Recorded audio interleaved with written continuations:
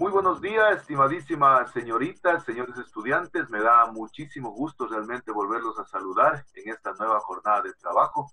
Para mí siempre es un verdadero privilegio, un verdadero honor trabajar con ustedes y saber que estoy contribuyendo a la formación académica, pero sobre todo la formación personal de todos y cada uno de mis estudiantes. Así que reciban la más cordial bienvenida a esta que es la clase número 12. Fíjense, ya prácticamente estamos a menos de un mes de poder terminar las actividades académicas, con lo cual ustedes ya subirían a noveno ciclo, ya deben ir pensando en su proyecto de investigación de tesis.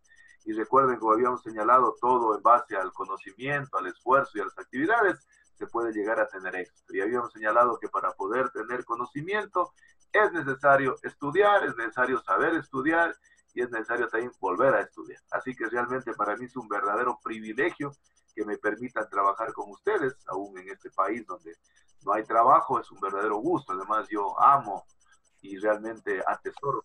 Así que vamos entonces a dar inicio a las actividades académicas, de acuerdo a como habíamos señalado entonces en el encuadre, voy a pasar lista. Y en el momento entonces que nombre a cada estudiante, por favor, ya se la de prender su camarita, ¿no? Señoritas y señores, Alulima Paul. Presente, ingeniero, buenos días. Un saludarlo, buenos días, bienvenido. Álvarez María. Presente, ingeniero. Buenos, días. buenos días, bienvenida. Qué gusto saludarla. Amay José. Presente, ingeniero, buenos días. Amay José, buenos días, bienvenido. Ambuludí Yulisa. Buenos días, ingeniero. Presente. ¿Cómo está Yulisa? Buenos días, bienvenida. Armijos María. Presente, ingeniero, buenos días. Hola María, ¿cómo le va? Buenos días, ¿cómo está? Bienvenida. Ávila María. Presente, Inge, buenos días. Buenos días, bienvenida. Bravo, Jan. Hola, Jan, ¿cómo le va? Buenos días, ya lo vi. ¿Cómo está? Bienvenido. Briseño Ronald. Presente, buenos días, ingeniero. Buenos días, bienvenido. Carrión Elvis. Buenos días, Inge, presente. ¿Cómo está, Elvis? Buenos días, felicitaciones. Fue el primerito que vino. Nos estuvimos acompañando desde muy Gracias. Gracias, Elvis, por su puntualidad. Carrión Tatiana. Buenos días, ingeniero, presente. Buenos días, qué gusto saludarla, bienvenida. Celi María. Celi María. Buenos días, ingeniero, presente. María, buenos días, bienvenida. Eh, Cordero Manuel. Cordero Manuel. Buenos días, presente. Buenos días, ¿cómo está? Bienvenido. Cueva Miriam. ¿Cómo está Miriam? Buenos días, bienvenida. Eh, Curillo Segundo. Presente, buenos días, ingeniero. Buenos días, bienvenido, qué gusto saludarlo. Delgado Aida. Buenos días, ingeniero, presente. Buenos días, bienvenida. Eh, Gallegos Neiva. Gallegos Neiva. Presente, ingeniero, buenos días. ¿Cómo le va? Buenos días, bienvenida, qué gusto saludarla. Jiménez Elías. Buenos días. ¿Cómo le va? Buenos días, bienvenido. Lapo Byron. Lapo Byron. Presente, buenos días. Buenos días, bienvenido. Eh, Narváez Luis. Narváez Luis. Presente, ingeniero, buenos días. Buenos días, bienvenido. Eh, Novoa Eric. Novoa Eric. Eric me estaba faltando. ¿Qué pasaría? ¿Saben algo de Eric tal vez? De repente tiene mala su conexión. Ortega Dayana. Ortega Dayana. Buenos días, ingeniero, presente. Dayana, buenos días, bienvenida. Eh, Pereira Damaris. Presente, ingeniero, buenos días. Hola, Damaris. ¿Cómo está Damaris? Buenos días, bienvenida. Este, Puchaisela Ana. Puchaisela Ana. Buenos días, ingeniero. ¿Cómo está Anita? Buenos días, bienvenida. Eh, Rivas Javier. Rivas Javier. Rivas Javier. Rivas Javier. Presente, ingeniero, buenos días. Hola. Javier, ¿cómo le va? Buenos días, bienvenido. Eh, Romero Juliana. Romero Juliana. Presente, ingeniero, buenos días. ¿Cómo le va? Buenos días, bienvenida también. Gracias. Romero Hermel. Presente, ingeniero. ¿Cómo Buenos va? días. Buenos días, bienvenido. Eh, Cisalima Lady. Cisalima Lady. Buenos días, ingeniero. Presente. Hola, Lady, ¿cómo le va? Buenos días, bienvenida. Eh, Valdés Mariana. Presente, ingeniero, buenos días. Mariana, ¿cómo le va? Buenos días, bienvenida. Y finalmente, Vargas Diana. Vargas Diana. Vargas Diana. Ya la, parece que ya le vi que ingresó. Vargas Diana. Bueno, me faltarían entonces, tal vez repito, Novoa Eric, Novoa y Vargas, Vargas Diana. Si tal vez llegan, por favor, me avisan para poderles justificar la nota, sino que me escriban a mi WhatsApp para que no se perjudique en su asistencia, ¿no? Bien, una vez más les reitero la más cordial bienvenida a esta nueva actividad académica. Me da muchísimo gusto realmente volvernos a encontrar con ustedes para seguir conversando, para seguir aportando a la formación académica. Pero como yo siempre digo, a mí me apasiona realmente contribuir también a la formación personal de ustedes, ¿no? Les cuento que el día de hoy ando vestido así, de esta manera, y yo les estaba comentando a ustedes de que eh, tengo un ex estudiante de la carrera de Ingeniería Forestal, pues que me invitó a participar en una maestría, entonces está trabajando en, cultivo de tejidos, y justamente el día de hoy se va a desarrollar este, uno de los primeros grados, donde venimos revisando una tesis de ellos, y se va a desarrollar un grado, fíjense, vía virtual, entonces justamente por eso ando vestido pues de esta manera. Y justamente, fíjense, me está tocando analizar eh, una tesis que se viene a constituir para mí como un estudio de caso. Es decir, como ustedes están haciendo el estudio de caso, a mí así me tocó durante todo este fin de semana eh, analizar un estudio de caso que eh, una señorita ha hecho en un trabajo de investigación de propagación in vitro de ocotea, que es la balsa. Ha trabajado en una especie para poder hacer micropropagación de balsa. justamente a ella, fíjense, le ha pedido una empresa, una empresa de, de litoral que eh, busque la alternativa de cómo propagar esta planta por métodos alternativos, en este caso a través del cultivo de tejidos vegetales y justamente pues me tocó a mí analizar un caso, miren que, que, claro, uno de alguna manera tiene una idea general, pero otra cosa ya es analizar el caso en toda la profundidad y en todo el detalle. Ese definitivamente es un estudio de caso. Entonces revisemos un poco la, la planificación de la asignatura entonces, el día de hoy voy a continuar con, con, el análisis de una temática nueva que vamos a revisar.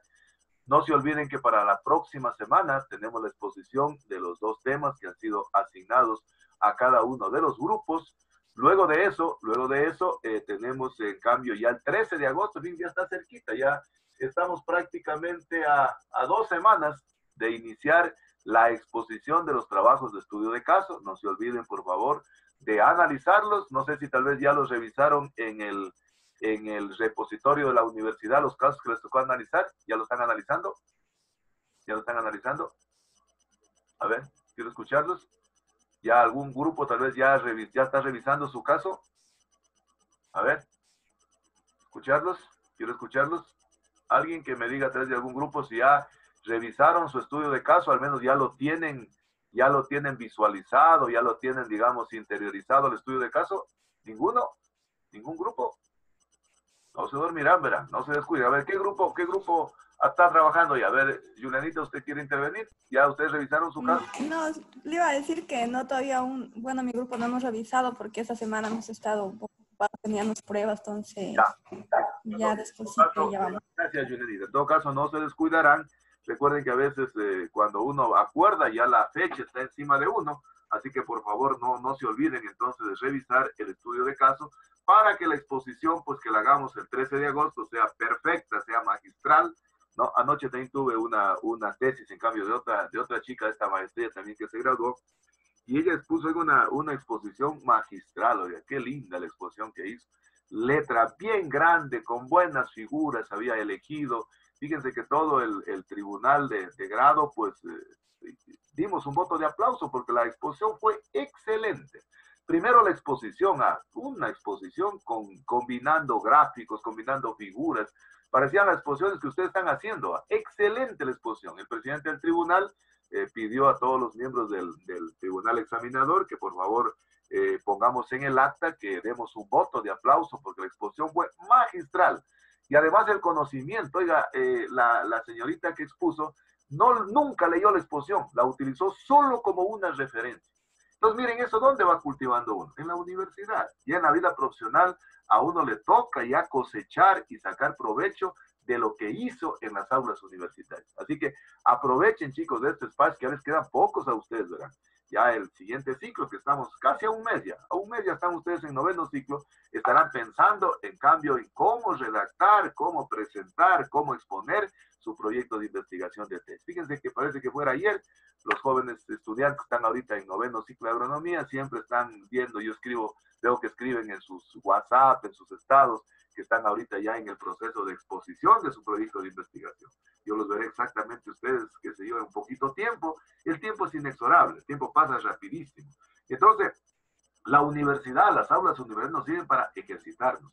Recuerden que esa exposición hay que hacerla perfectamente bien, la ponencia hay que hacerla magistralmente, porque además vale cuatro puntos que es correspondiente a la tercera evaluación de la asignatura. Entonces, no se no se descuiden de hacerlo bien. Por otro lado, eh, y cuando ya vayamos terminando las clases, hay que ir ya terminando también el glosario para pasarlo a limpio, en orden alfabético, numerado los términos, al final si tienen alguna bibliografía, y en la mitad, en la mitad de una hojita de tamaño INE, es decir, la mitad de una hoja A4, hacemos entonces el glosario, lo ponemos con una carátula, ya lo pasamos a limpio y ese tienen que subirlo también a la, a la plataforma y vale también como una tarea más de cuatro puntos. Entonces, miren, todos los productos acreditables los han ido generando ustedes. Yo lo único que hago como docente es sumar, sacar un promedio y presentar la calificación que ustedes han obtenido. Además, estaba revisando, yo tengo mi libretita aquí que voy llevando un registro de todos y cada uno de ustedes, de toditos los días. Yo voy registrando de todas las clases que yo tengo entonces veo que están muy bien el rendimiento académico, así que me alegra sobremanera. Para mí definitivamente me, me llena de mucha alegría saber que mis estudiantes tienen un buen rendimiento académico, al contrario de que hay docentes a veces que se alegran que el estudiante esté mal. Por el contrario, porque yo siempre digo que el éxito del estudiante es el éxito de la universidad y por ende el éxito de los profesores. Me da mucho gusto, por ejemplo, ya estuve revisando unas cuatro o cinco prácticas cómo retroalimentan. Algunos ya han ido retroalimentando, cómo numerar títulos, cómo numerar subtítulos, cómo redactar la, la, la, metodología. Recuerden que la metodología ya, cuando uno la redacta, ya es historia, es pasado. Y siempre hay que redactar de manera impersonal. Es decir, nunca poner hicimos, realizamos, sino que se realizó, se efectuó. Y me da mucho gusto realmente ver cómo han crecido académicamente. Yo definitivamente soy muy, muy gustoso y me da mucha alegría cuando veo que mis estudiantes van creciendo académicamente en la manera de escribir y en la manera de exponer. Nosotros como profesionales, mire, estamos siempre abocados a aquello. Miren, en este momento eh, la Dirección de Investigación nos envió a los directores de los proyectos un correo el día miércoles, justamente ayer. Nos envió un correo en el que dice que está organizando un simposio científico para poder eh, hacer la presentación de ponencias y lógicamente me pidieron a mí una ponencia. Yo voy a hacer una ponencia sobre el proyecto Cinchona y lógicamente, miren, entonces a cada momento, como profesionales, estamos abocados, estamos obligados a trabajar en ponencias, a trabajar en exposiciones, en definitiva, a escribir y hablar, que es de fundamental importancia. Entonces, miren, no es que, bueno, ustedes digan, saben que yo ya termino la universidad y aquí nunca más volveré a exponer. Antes, por el contrario, van a tener mayor trabajo. Y cuando uno se ejercita en la universidad. A mí me da muchísimo gusto ver realmente cómo han crecido académicamente desde que iniciamos clase, ¿no? Y tanto en la parte de la exposición, que es en la forma de hablar, como también en la forma de escribir. A mí me interesa que ustedes sepan escribir porque ya se viene, ya se viene el proyecto de investigación. Yo siempre sé iniciar mi clase en proyectos de investigación con una frase célebre de un investigador que se llama Toffer. Él dice de que el mérito no es de quien hace la investigación, fíjense, el mérito no es de quien hace la investigación. Dice que el mérito es de quien la escribe y quien convence al mundo. Fíjense, es de quien la escribe y quien convence al mundo. Es un investigador famosísimo, yo lo leo mucho para la asignatura que tengo de proyectos de investigación. Entonces él dice que el, el mérito no está en quien hace el descubrimiento. Es decir, usted puede hacer una tesis excelente en babaco, en tomates de árbol, en, bueno, en infinidad de cultivos. Usted puede hacer una tesis excelente, pero su tesis que sido terminó, no sé, en una biblioteca. Dice que el mérito está en quién la supo escribir, en quién la supo publicar y convenció al mundo. Así que realmente utilicen eso como un referente para irse preparando ya para lo que constituye el trabajo de investigación de tesis. Y justamente por eso a mí a lo largo de toda la asignatura me gusta que hagan el esfuerzo de escribir, porque ya veo que en la, en la introducción para mí la introducción de todo trabajo es el reflejo de un profesional. Yo solo viendo la introducción conozco la calidad del profesional. Por ejemplo, en el trabajo que hubo la, noche del grado, que fue de siete y media a nueve y media de la noche, eh, todo organizado, ¿verdad? En esa universidad, un orden perfecto, oiga. ¿Qué bestia? Lo que realmente yo digo, planificación y orden. Extraordinaria la organización, ¿verdad? Yo leí la introducción de esta señorita eh, maestrante, ingeniera, creo que era ingeniera en agroindustrias, algo así. Oiga, pero la introducción era perfecta. Entonces uno solo leyendo la introducción, uno ya se da cuenta y puede medir la calidad de un profesional. Y me doy cuenta en ustedes que han mejorado bastante. No, todos pasan, no importa, pero haciendo el esfuerzo ustedes. Igual cosa, en el trabajo de investigación del estudio de caso, hagan ustedes el esfuerzo por ustedes escribir. De tal manera que se vayan ejercitando entonces para lo que constituye su trabajo de investigación de tesis, que ya está muy cerquita. Bien, vamos entonces a continuar con la clase del día de hoy. Y el día de hoy entonces vamos a, vamos a analizar entonces una temática, una temática que está directamente relacionada con lo que hemos venido estudiando en estos días, ¿no? En estas clases. Vamos a ver entonces, vamos a ver entonces, eh, no sé si están observando en la pantalla, si ven en la pantalla. ¿Sí ven? ¿Confirmo? Ya. Unas carpetas. Y hoy te estoy eh, presentando una, una exposición, no sé si la alcanzan a ver tal vez. No. No, la exposición, ¿no? Todavía no. Ya vamos, ya vamos entonces, vamos allá entonces. Bien. Entonces vamos a, vamos a continuar entonces.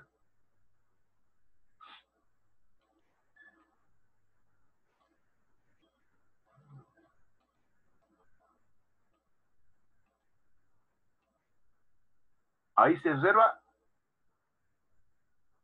¿Sí se observa ahí? No. No, hay, no hay nada. Todavía no comparte, Ya, ya vamos a ver. ¿Y ahí? Ya. Ya, perfecto, muy bien. Vamos entonces, vamos entonces el día de hoy, vamos a analizar lo relacionado, lo relacionado al establecimiento de cultivos in vitro. En este trabajo de investigación que estoy revisando, este estudio de caso de esta señorita que ha hecho sobre la propagación o micropropagación de balsa, estaba leyendo de que el problema más complicado que ella ha tenido en su trabajo de investigación es el establecimiento de los explantes in vitro. Y lógicamente, fíjense, la lectura de este estudio de caso me dio también muchas pautas, muchas ideas para la clase del día de hoy el éxito definitivamente del cultivo de tejidos vegetales radica también en el establecimiento del cultivo in vitro. Es decir, en la forma como yo puedo hacer que mi cultivo generalmente lo pueda hacer sin que exista contaminación. Entonces vamos a analizar algunos elementos que es necesario tomar en cuenta cuando hacemos el establecimiento de cultivos in vitro. Primero partimos del hecho de que las plantas, las plantas, las que viven generalmente ya sea en condiciones in vivo, en condiciones de invernadero, en condiciones en el campo, decimos que las plantas son organismos fotoautotróficos. Para el glosario, ¿qué quiere decir fotoautotrófico? Fotoautotrófico quiere decir que las plantas son capaces de utilizar la energía luminosa a través de qué? A través del proceso fotosintético. Entonces decimos que las plantas son organismos fotoautotróficos, porque en presencia de la luz son capaces de asimilar y convertir el CO2, el agua, los elementos inorgánicos en compuestos orgánicos.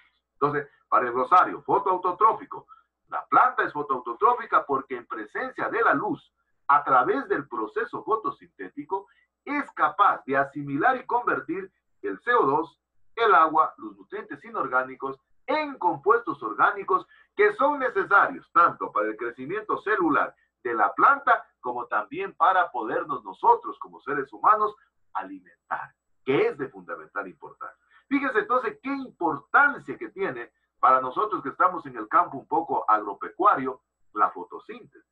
¿Se acuerdan que decíamos que la fotosíntesis era como un gran molino en donde había cosas de entrada y cosas de salida? ¿Cuáles eran los elementos de entrada? A ver, ¿quién se acuerda ¿Cuáles eran los elementos de entrada de la fotosíntesis? Hágame acuerdo. Primero, ¿cuál era? CO2. CO2, muy bien. ¿Qué más? Agua. Agua, ¿qué más? Alumínica y sal mineral. Elementos inorgánicos, ¿qué más? Energía lumínica y sales minerales. Lumínica y sales minerales. Vale, pero falta uno, falta el más importante. Ya me Clorofila. La clorofila, perfecto. Esos son los elementos de entrada. Y como elementos de salida estaban, ¿qué nomás? Azúcares y Azúcares y oxígeno. Oxígeno. oxígeno. Decíamos que salían seis moléculas de oxígeno y seis moléculas de C6H12O6, es decir, de carbohidratos. Entonces, fíjense, primer elemento a considerar en el establecimiento del cultivo in vitro, conocer de que la planta es un organismo fotoautotrófico, es decir, que es autodependiente. Él mismo puede realmente nutrirse. Es la razón por la cual decimos que las plantas son organismos autotróficos. Pero le ponemos el, el, aditamento de fotoautotrófico porque en presencia de la energía luminosa asimilan y convierten entonces los compuestos inorgánicos en definitiva en compuestos orgánicos. Primera característica fundamental de los vegetales. Segunda característica que es de fundamental importancia considerarla dentro del establecimiento in vitro es de que la planta es un organismo multicelular. Es decir, que la planta, cómo crece la planta, cómo se desarrolla la planta. Recuerden ustedes que desde el punto de vista celular existen dos procesos de división celular, que es el proceso mitótico y el proceso de la meiosis. La meiosis generalmente se da en las células sexuales. Es decir, generalmente en el caso, en el caso de las plantas, ¿cómo se llama la célula sexual masculina de las plantas? ¿Cómo se llama?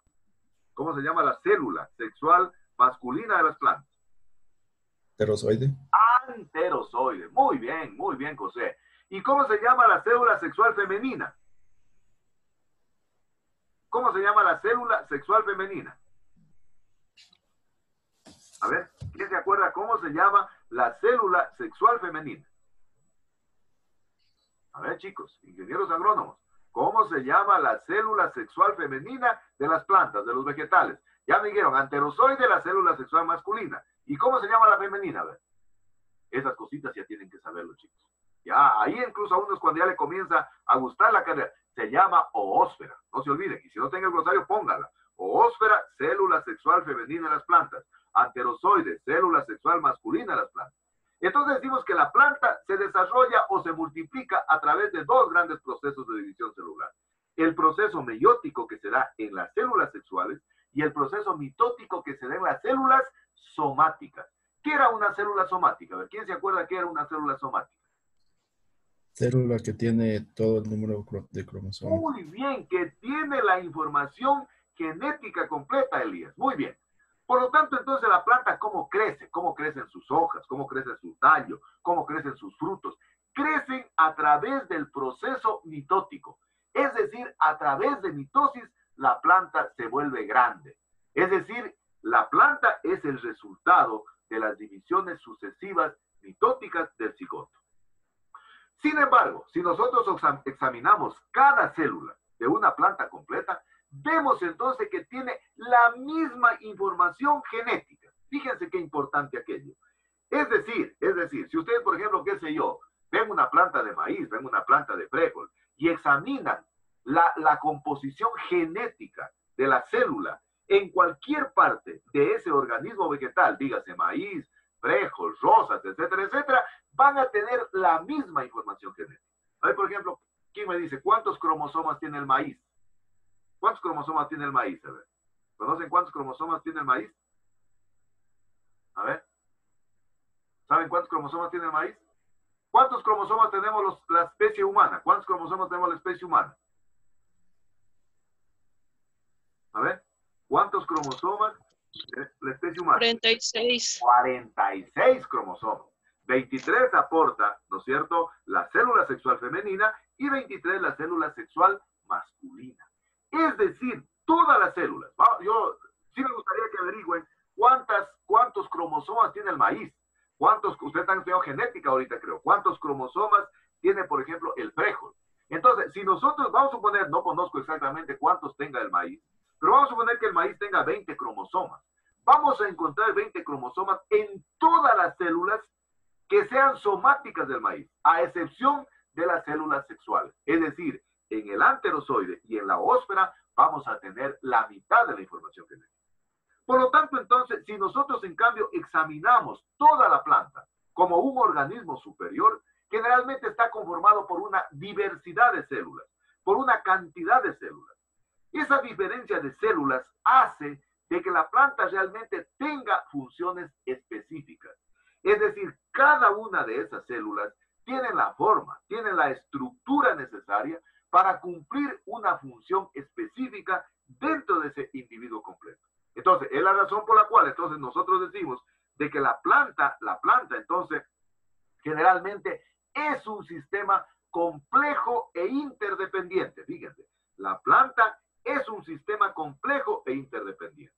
Es decir, esa especialidad que le dan las células hace que la planta sea un sistema complejo e interdependiente.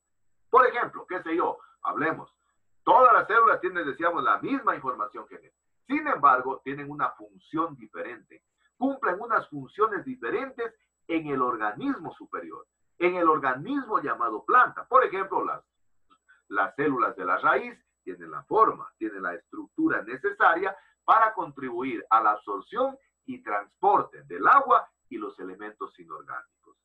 Las células de la hoja igual tienen la forma, tienen la estructura para cumplir con la función, en cambio de transformar la energía luminosa en energía química. Es decir, los compuestos inorgánicos en compuestos orgánicos a través de ese proceso fotosintético que habíamos analizado hace un momento. Entonces, la planta es un sistema complejo e interdependiente. ¿Qué quiere decir complejo? Quiere decir entonces que está estructurado con diferentes tipos de células.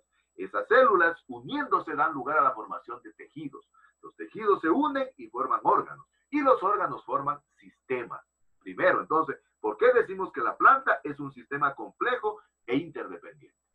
Interdependiente porque una parte depende de la otra. Es decir, las células radicales dependen de las células de la hoja y a su vez la célula de la hoja depende de las células radicales. Es decir, que existe un complemento entre los diferentes componentes de la célula. ¿Qué otros elementos es importante considerar entonces en el establecimiento de cultivos in vitro?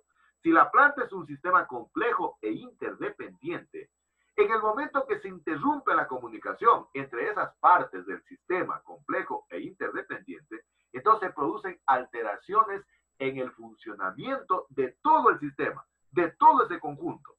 Por ejemplo, vamos a suponer que yo, no sé, aísle una célula de la hoja o una célula de la raíz, ¿no? Esa célula, en el momento que es realmente arrancada del sistema complejo e interdependiente, generalmente ya no es capaz de crecer y desarrollarse cuando la inoculamos en un medio de cultivo que posiblemente tenga una composición mucho más simple en donde posiblemente la planta completa podría crecer normalmente. ¿Por qué? Porque están interconectadas todas sus, partes. Entonces, esa es la razón por la cual cuando se aísla un fragmento de tejido, ese fragmento de tejido decimos que se conoce con el nombre de explante, y lo inoculamos en un medio de cultivo, qué sé yo, de composición química no muy complejo, generalmente frena su crecimiento y desarrollo. ¿Por qué? Porque anteriormente todos los elementos nutritivos le proporcionaba el sistema complejo e interdependiente. Posiblemente en ese medio de cultivo la planta crezca y se desarrolle normalmente. ¿Pero por qué? Porque ella cuenta todavía con todo el sistema complejo e interdependiente. Esa es la razón por la cual entonces cuando se hace el establecimiento de cultivos in vitro de material vegetal que ha sido arrancado, que ha sido separado de la planta madre, es necesario entonces proporcionarle un medio de cultivo adecuado. Es decir, un medio de cultivo sintético, y esa es la razón por la cual entonces eh, eh, Murashi y Skug en el año 1962 se interesaron en conocer cuáles eran las necesidades nutricionales del tabaco.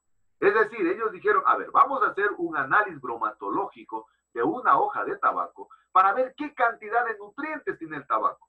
Y en función de la cantidad de nutrientes que tenía la hoja de tabaco, dijeron esos mismos nutrientes están en el suelo.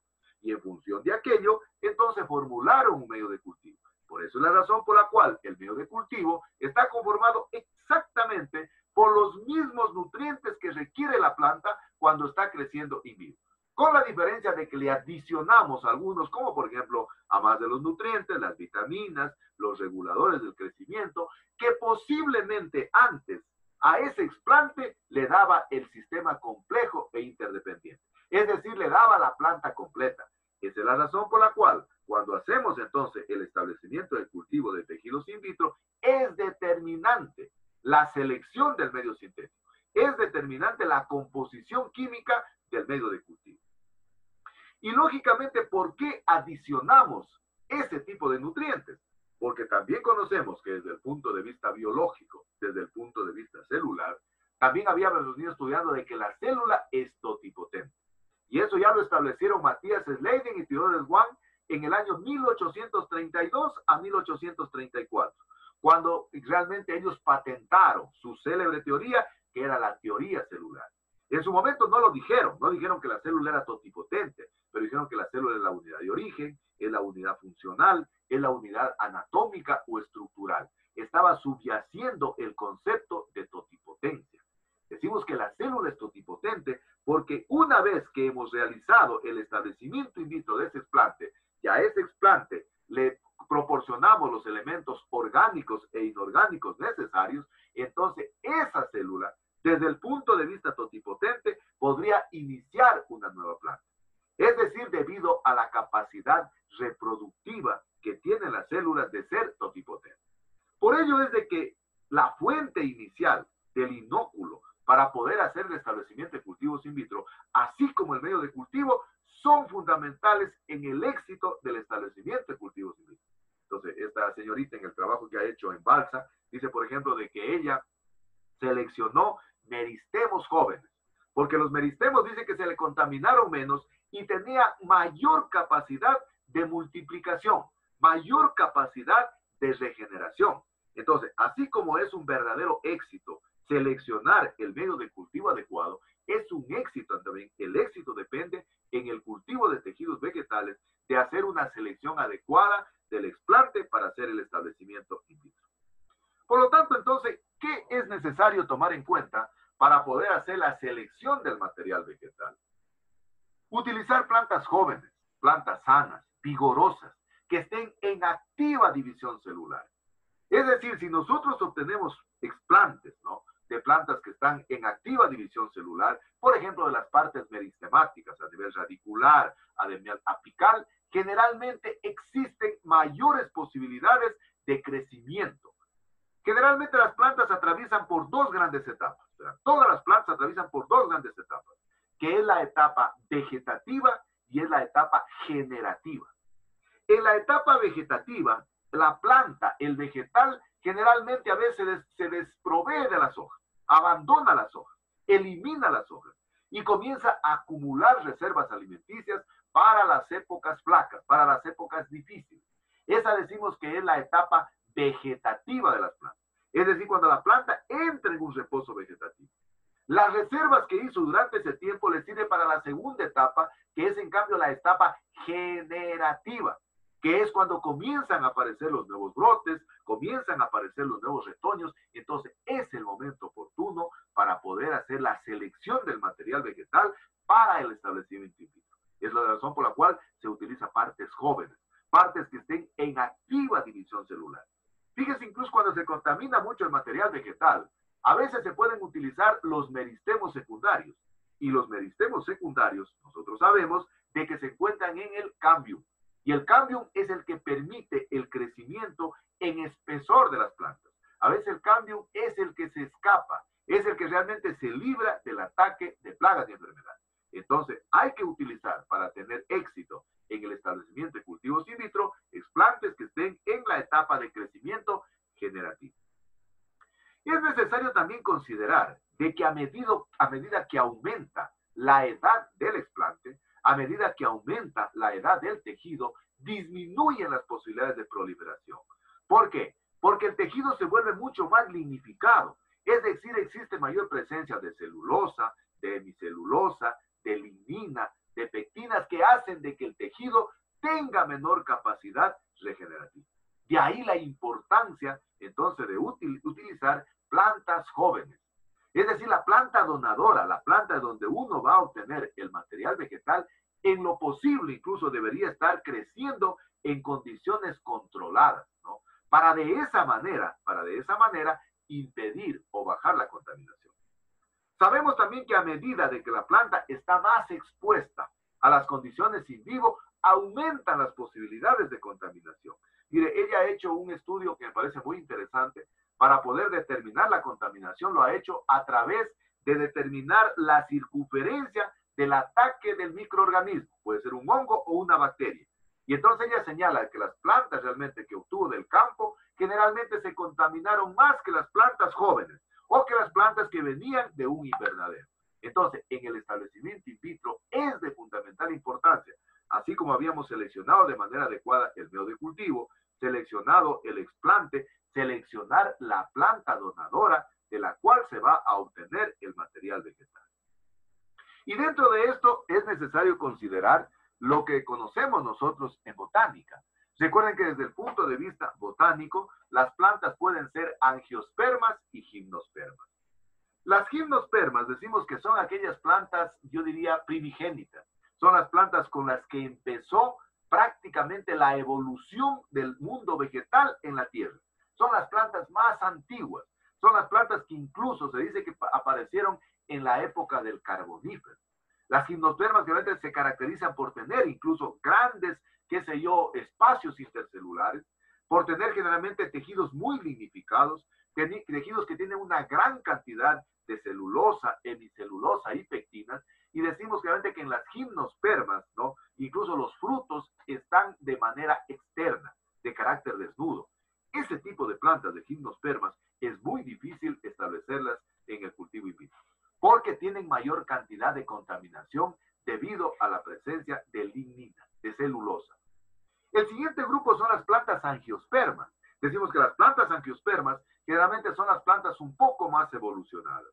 Y dentro de las angiospermas, a su vez, se dividen en dos, que son las monocotiledóneas y las dicotiledóneas. Desde el punto de vista de la utilización de las semillas, las monocotiledóneas decimos que tienen un solo cotiledón, pero la característica fundamental es de que la mayor cantidad de las células que conforman este tipo de plantas son células pétreas, que tienen un elevado contenido especialmente de óxido de silicio. Por ejemplo, el maíz.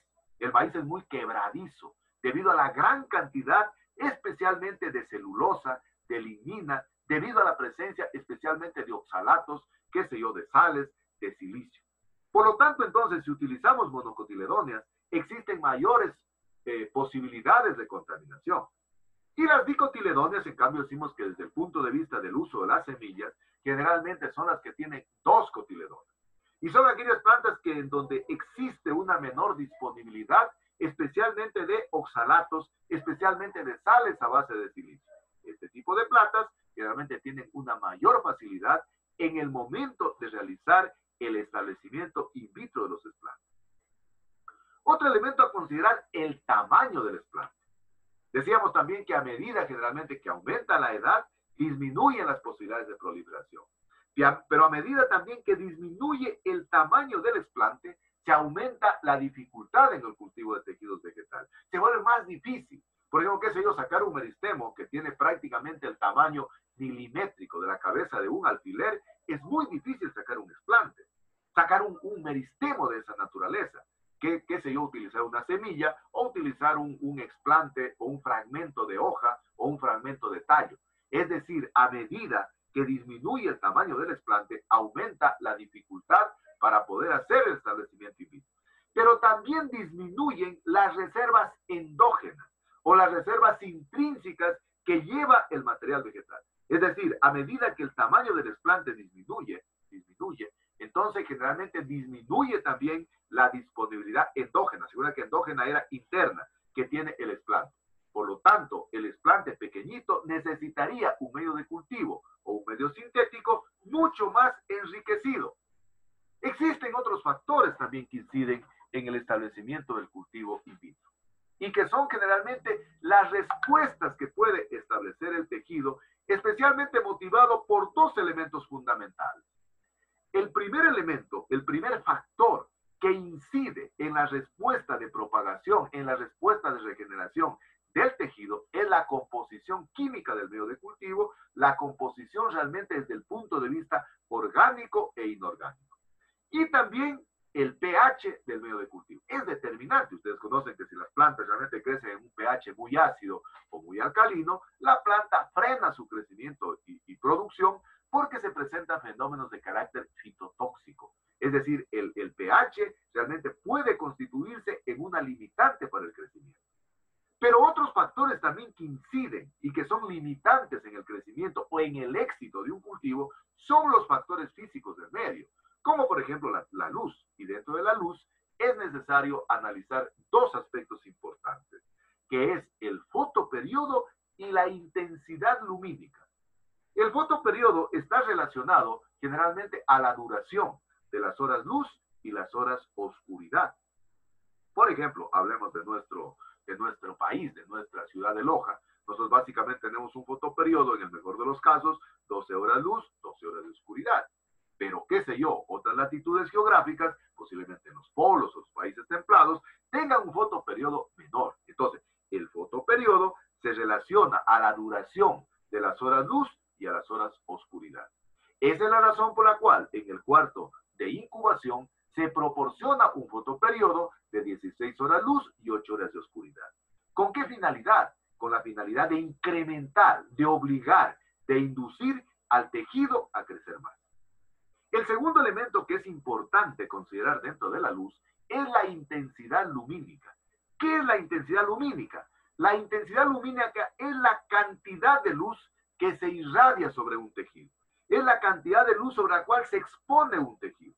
Y generalmente se mide en lux, L-U-X, lux. De esa manera se mide la intensidad lumínica. Esa es la razón por la cual habíamos señalado de que en el cuarto de incubación se requiere entre 3.000 a 5.000 lux.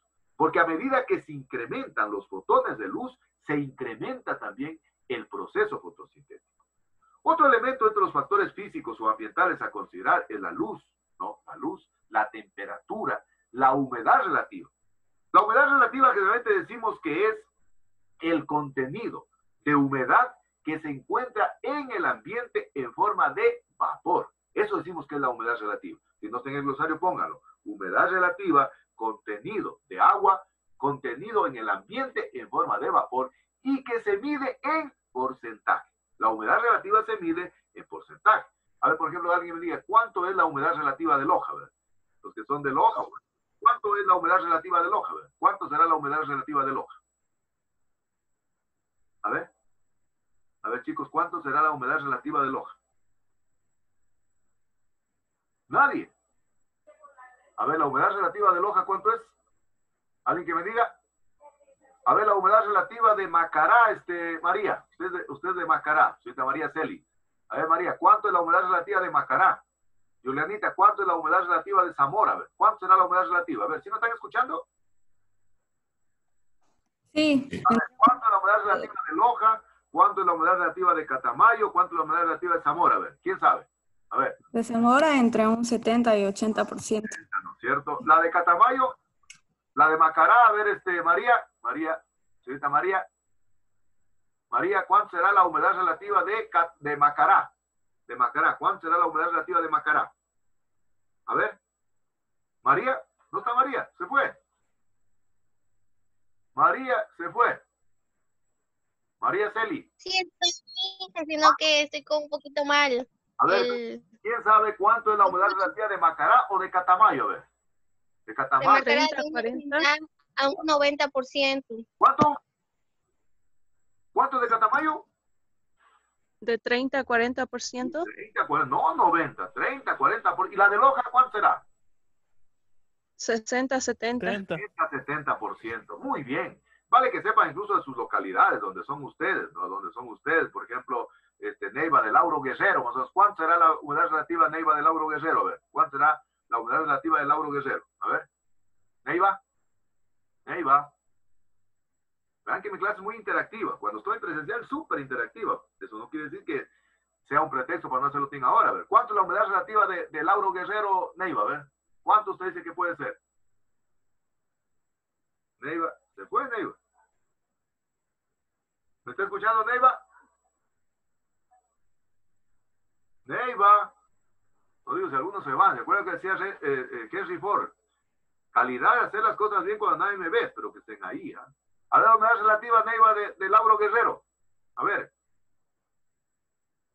A ver, humedad relativa eh, de, de Vilcabamba, Michelle. Este, perdón, la señorita Ortega. Ortega. Humedad relativa de Vilcabamba. Señorita Ortega. ¿No está en el aula? Sí. ¿Cuánto es la humedad relativa de Vilcabamba? Entre, puede estar en un 77%. Sí, por ahí más o menos, ¿no? A ver, este Neiva, Lauro Guerrero, ¿cuánto está de humedad relativa? Neiva. Neiva, a la una. Neiva, a las dos. Neiva, no está, no está en clase, ¿sí ven? Que algunos no están en clase, para que vean. La humedad relativa es importante considerarla, tanto la humedad relativa del ambiente como la humedad relativa que está dentro del vidrio, dentro del vidrio. Es decir, incide incluso en la estructura celular. Las células empalizadas, las que tienen grandes espacios intercelulares, generalmente crecen en ambientes que tienen alta humedad relativa. Debe estar pendiente, verá, no me olvido, el Lauro Guerrero tiene que decirme cuánto es la humedad relativa. Vamos a ver entonces desde esa perspectiva, para el establecimiento in vitro, cómo se clasifica el cultivo de tejidos vegetales. De acuerdo al tipo de material vegetal utilizado, el cultivo de tejidos vegetales se puede clasificar en cuatro grupos. Puede ser cultivo de órganos, cultivo de tejidos propiamente dicho, cultivo de células en suspensión y cultivo de protoplasma. Vamos a ver las características de cada uno de ellos. Veamos primero las características del cultivo de tejidos. Generalmente, miren, de manera indistinta. Cuando uno habla de cultivo de tejidos, utiliza la palabra cultivo de tejidos para referirse a embriones, a semillas, a meristemos, a hojas, a raíces, a polen, etcétera, etcétera. Es decir, de manera indistinta se utiliza para referirse a las cuatro modalidades, ya sea sea de órganos, de tejidos, de células de suspensión o de protoplasma. Pero si nosotros queremos hablar con propiedad desde el punto de vista técnico, cada uno tiene su propia particularidad. Es decir, si yo, por ejemplo, estoy haciendo cultivo de in vitro y estoy utilizando semillas y digo cultivo de tejidos, no es tan adecuado decir cultivo de tejidos. Sería un cultivo de órganos. Es decir, si yo estoy hablando con propiedad, desde el punto de vista técnico, cada uno de esos cultivos tienen su propia particularidad. Vamos a ir viendo entonces cada una de las particularidades. Primero veamos el cultivo de órganos. ¿Se acuerdan ustedes que en el año 1902 Haberland realizó el primer cultivo de órganos utilizando, en este caso, explantes de tomate? Es decir, el cultivo de órganos es el más antiguo, es el que realmente empezó las investigaciones en cultivo de tejidos vegetales. Y muchos investigadores dijeron, ah, muy bien, a ver, lo que se está haciendo en la parte in vivo, en el campo, ¿por qué no lo retraemos y lo hacemos en el interior de un vidrio? Y entonces comenzaron a utilizar los primeros investigadores, anteras, polen, embriones, semillas, meristemos. Cuando uno utiliza realmente ese tipo como fuente de explante, es decir, cuando estamos utilizando el órgano intacto, el órgano completo, y queremos hablar con propiedad, sería un cultivo de órganos. Entonces, el cultivo de órganos se caracteriza porque se utiliza el órgano vegetal completo, intacto, ya sea una antera, un meristemo, una semilla. Es decir, cuando yo utilizo ese tipo de explantes, generalmente estoy haciendo cultivo de órganos. Pero eso no significa que pueda utilizar para hacer la propagación y el mejoramiento genético. Veamos otras características que tiene el cultivo de órganos. El cultivo de órganos, como utiliza el órgano intacto, generalmente se puede esperar del explante dos tipos de respuestas. Primera respuesta, o que conserve el mismo patrón de crecimiento que venía teniendo la planta cuando crece en condiciones, en condiciones sin vivo. Ejemplo, yo siembro una semillita de tomate y esa semillita crece y obtengo, una planta completa. Es decir, estoy conservando el mismo patrón de crecimiento. Es decir, haciendo exactamente lo que la planta hace en la naturaleza. Entonces, primera respuesta que puedo obtener del cultivo de órganos, es decir, conservar el mismo patrón de crecimiento. Yo les contaba, no sé si les conté a ustedes, que en el laboratorio, cuando trabajábamos, pues teníamos la posibilidad de estar presencialmente.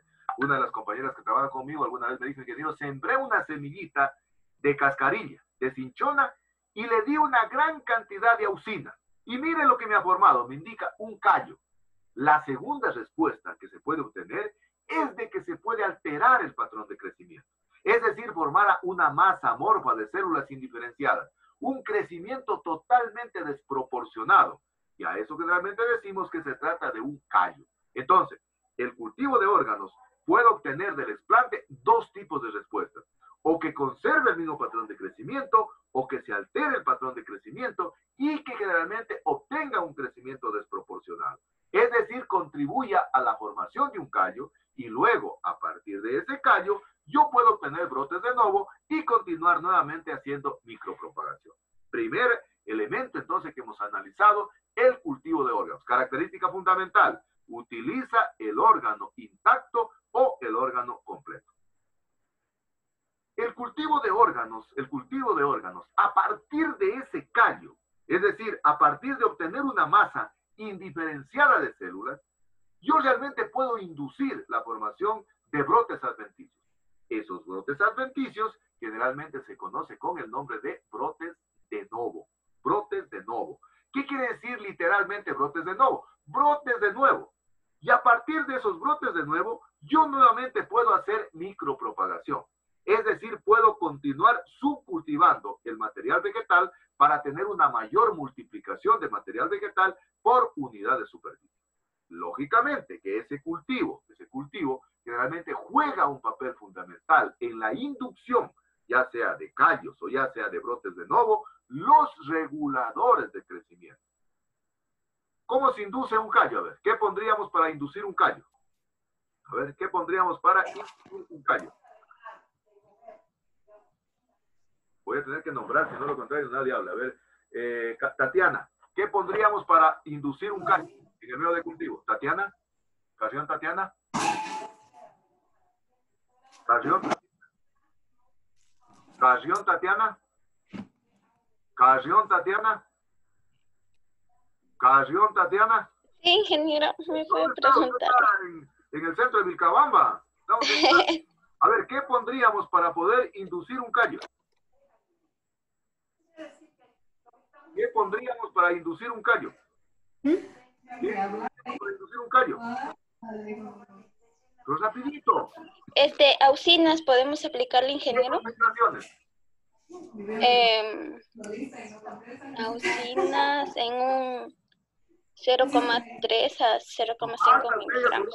Altas, medias, altas, medias. Medias, ingeniero, medias. Altas, altas, altas para formar una masa amorfa de células y a partir de ello tener brotes adventicios y de esta manera incluso tener la formación de a ver Neiva ¿qué pondríamos, qué pondríamos en cambio para poder desdiferenciar el callo y formar brotes de nuevo? a ver Neiva Neiva, no estaba en clase Neiva, en cualquier lado no en clase Neiva a la una Neiva a las dos Neiva a las 3, no está en clase. No está en clase. Ahí vamos a ver. Este, Novoa, ah, Novoa no creo que llegó. A ver, este, Byron, Byron Lapo, ¿qué pondríamos al medio de cultivo para inducir la formación de brotes de nuevo del callo? ¿Qué pondríamos? ¿Qué pondríamos? Inducir los brotes de ¿Qué pondríamos para inducir brotes de nuevo a partir del callo? ¿Qué pondríamos? ¿Qué tipo de regulador de crecimiento? porque dice que el regulador de crecimiento es determinante en el crecimiento que vayamos a inducir. ¿Qué pondríamos? ¿Iberelinas? ¿Ah?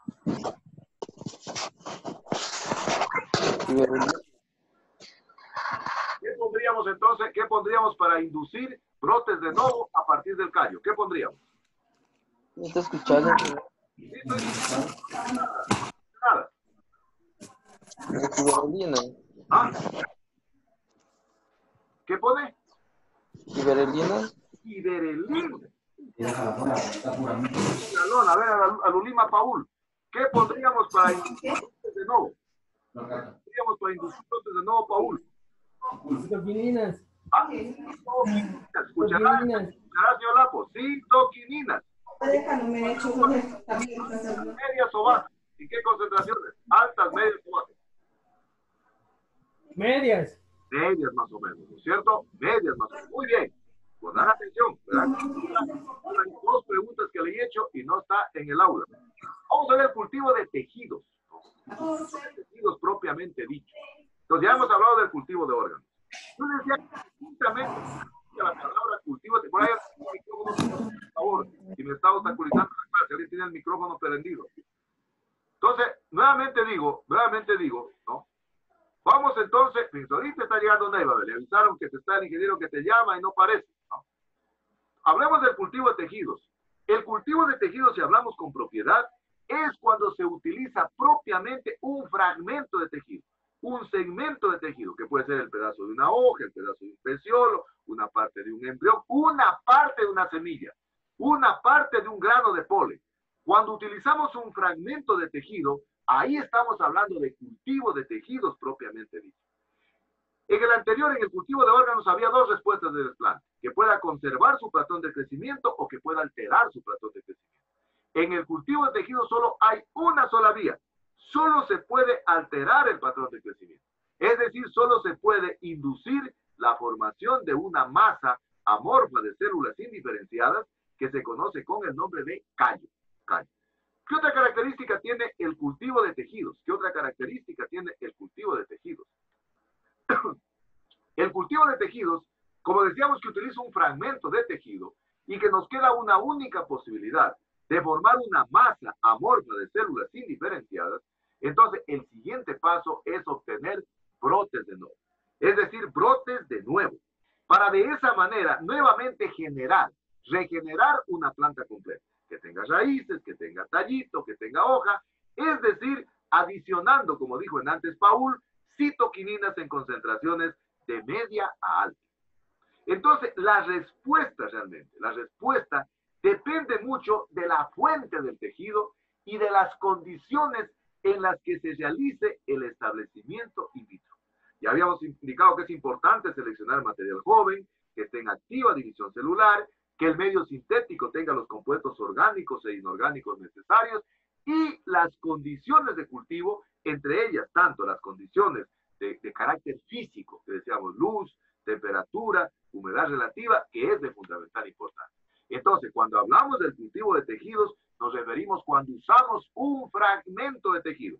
Ahí estamos hablando con propiedad. Y solo esperamos una sola respuesta. Solo se puede alterar el patrón de crecimiento. Tercer tipo de cultivos, que es el cultivo de células en suspensión. ¿En qué consiste el cultivo de células en suspensión? Primero consiste este cultivo en partir de callos, es decir, tenemos una masa, amorfa de células indiferenciadas que le hemos conseguido utilizando altas concentraciones de auxinas, por ejemplo, ácido indolacético. Esos callos, ¿cómo se hace para tener células en suspensión? Esos callos generalmente los comenzamos a poner en un medio de cultivo líquido y comenzamos a agitar el medio de cultivo en una centrífuga. ¿Con qué finalidad? Con la finalidad que el callo se comience a disgregar, es decir, que el callo se comience a desgranar y se comiencen a individualizar las células. Es decir, el callo es una masa amorfa de células individuales. Esa es como una mazorca de maíz. Entonces, ¿en qué consiste el cultivo de células en suspensión? Consiste en desgranar esa mazorca de maíz. Es decir, en tratar de que se disgregue el callo en células individualizadas. El grado de disgregabilidad de callo, generalmente la suspensión celular incrementa la producción. Es decir, existe mayor posibilidad de poder tener incluso una cantidad de variantes, una cantidad de mutantes. Entonces, el grado de la individualización de las células depende mucho del grado en que se desgrane, en que se individualice cada una de las células que están formando un callo. La disgregabilidad del callo, es decir, la capacidad de poderse individualizar las células, depende mucho al aumentar las concentraciones de auxinas. Al incrementar altas concentraciones de auxinas, generalmente se incrementa la disgregabilidad del callo. Además, sí se pueden adicionar, por ejemplo, otro tipo de compuestos, como el caso del hidrolizado de, ca de caseína o extracto de levadura, que promueven la dispersión y crecimiento celular. Una vez que se han individualizado las células, una vez que yo ya tengo las células individualizadas, el callo se ha individualizado a cada célula, como la mazorca de maíz se desgranó. Esas suspensiones celulares sirven como el inóculo inicial para poder realmente empezar el crecimiento, ¿no? Y lógicamente, las células, como ya están individualizadas, generalmente yo las puedo manejar incluso como microorganismos, fíjate. Entonces, primer paso, parto de un callo, el callo lo mantengo en un medio de cultivo líquido en constante agitación, ¿con qué finalidad? Para que se disgregue el callo. Y de esa manera entonces yo tengo una suspensión celular. Y esta suspensión celular generalmente puede empezar un cultivo que va a ser mucho más rápido en relación a un explante. Si parto desde cero, el crecimiento va a ser mucho más lento. ¿Qué hago luego? Las células, las células individualizadas, las comienzo a subcultivar. Es decir, nuevamente comienzo a subcultivar las células individualizadas. Es decir, las comienzo a manejar como verdaderos microorganismos. Generalmente el inóculo inicial para poder iniciar nuevamente el subcultivo de células en suspensión va entre 0,5 a 2,5 por 10 a la quinta células por mililitro.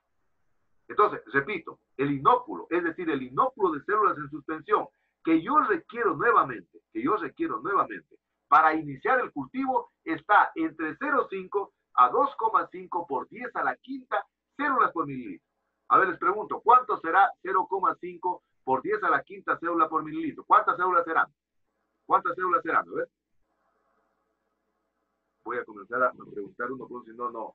A ver, este, Cordero Manuel, ¿cuántas células serán 0,5 por 10 a la quinta? ¿Cuánto es la expresión matemática? A ver. Manuel. Manuel. Señor Cordero. Dos. Señor Cordero. No está en clase, imagínate, no está en clase. A ver, veamos otro. Señorita Delgado. Delgado. Delgado Aida. A ver, Aida. ¿Cuánto será 0,5 por 10 a la quinta células por mililitro? Aida. Aida. Dos. Aida.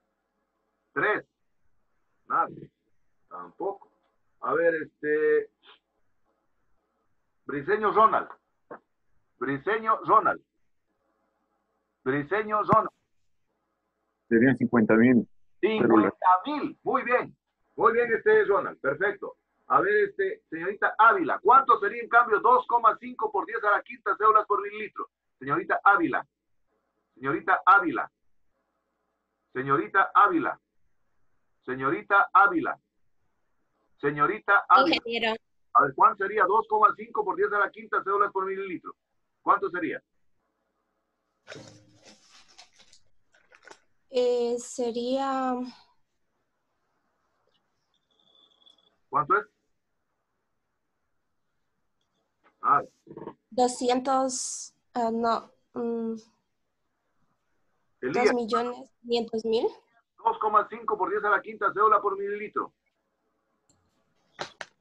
250 mil. 250 mil, fíjense. Fíjense, son cositas de matemáticas esenciales. Entonces dice que el inóculo inicial de las células que han sido individualizadas es de 0,5 a 2,5 por 10 a la quinta células por mililitro. Luego esas células las vuelvo a subcultivar, las vuelvo a subcultivar en un medio de cultivo líquido y entonces la tasa de crecimiento se incrementa con las células eh, individualizadas. Y en poco tiempo la célula nuevamente comienza a formar un callo. Y realmente la tasa de crecimiento es mayor porque como la célula está creciendo en el medio de cultivo líquido y el medio de cultivo líquido se está agitando constantemente, entonces todo el tiempo los nutrientes están bañando la célula. Pero ¿cuál es el objetivo? El objetivo es tratar de que en ese momento manejamos las células como verdaderos microorganismos, ¿no?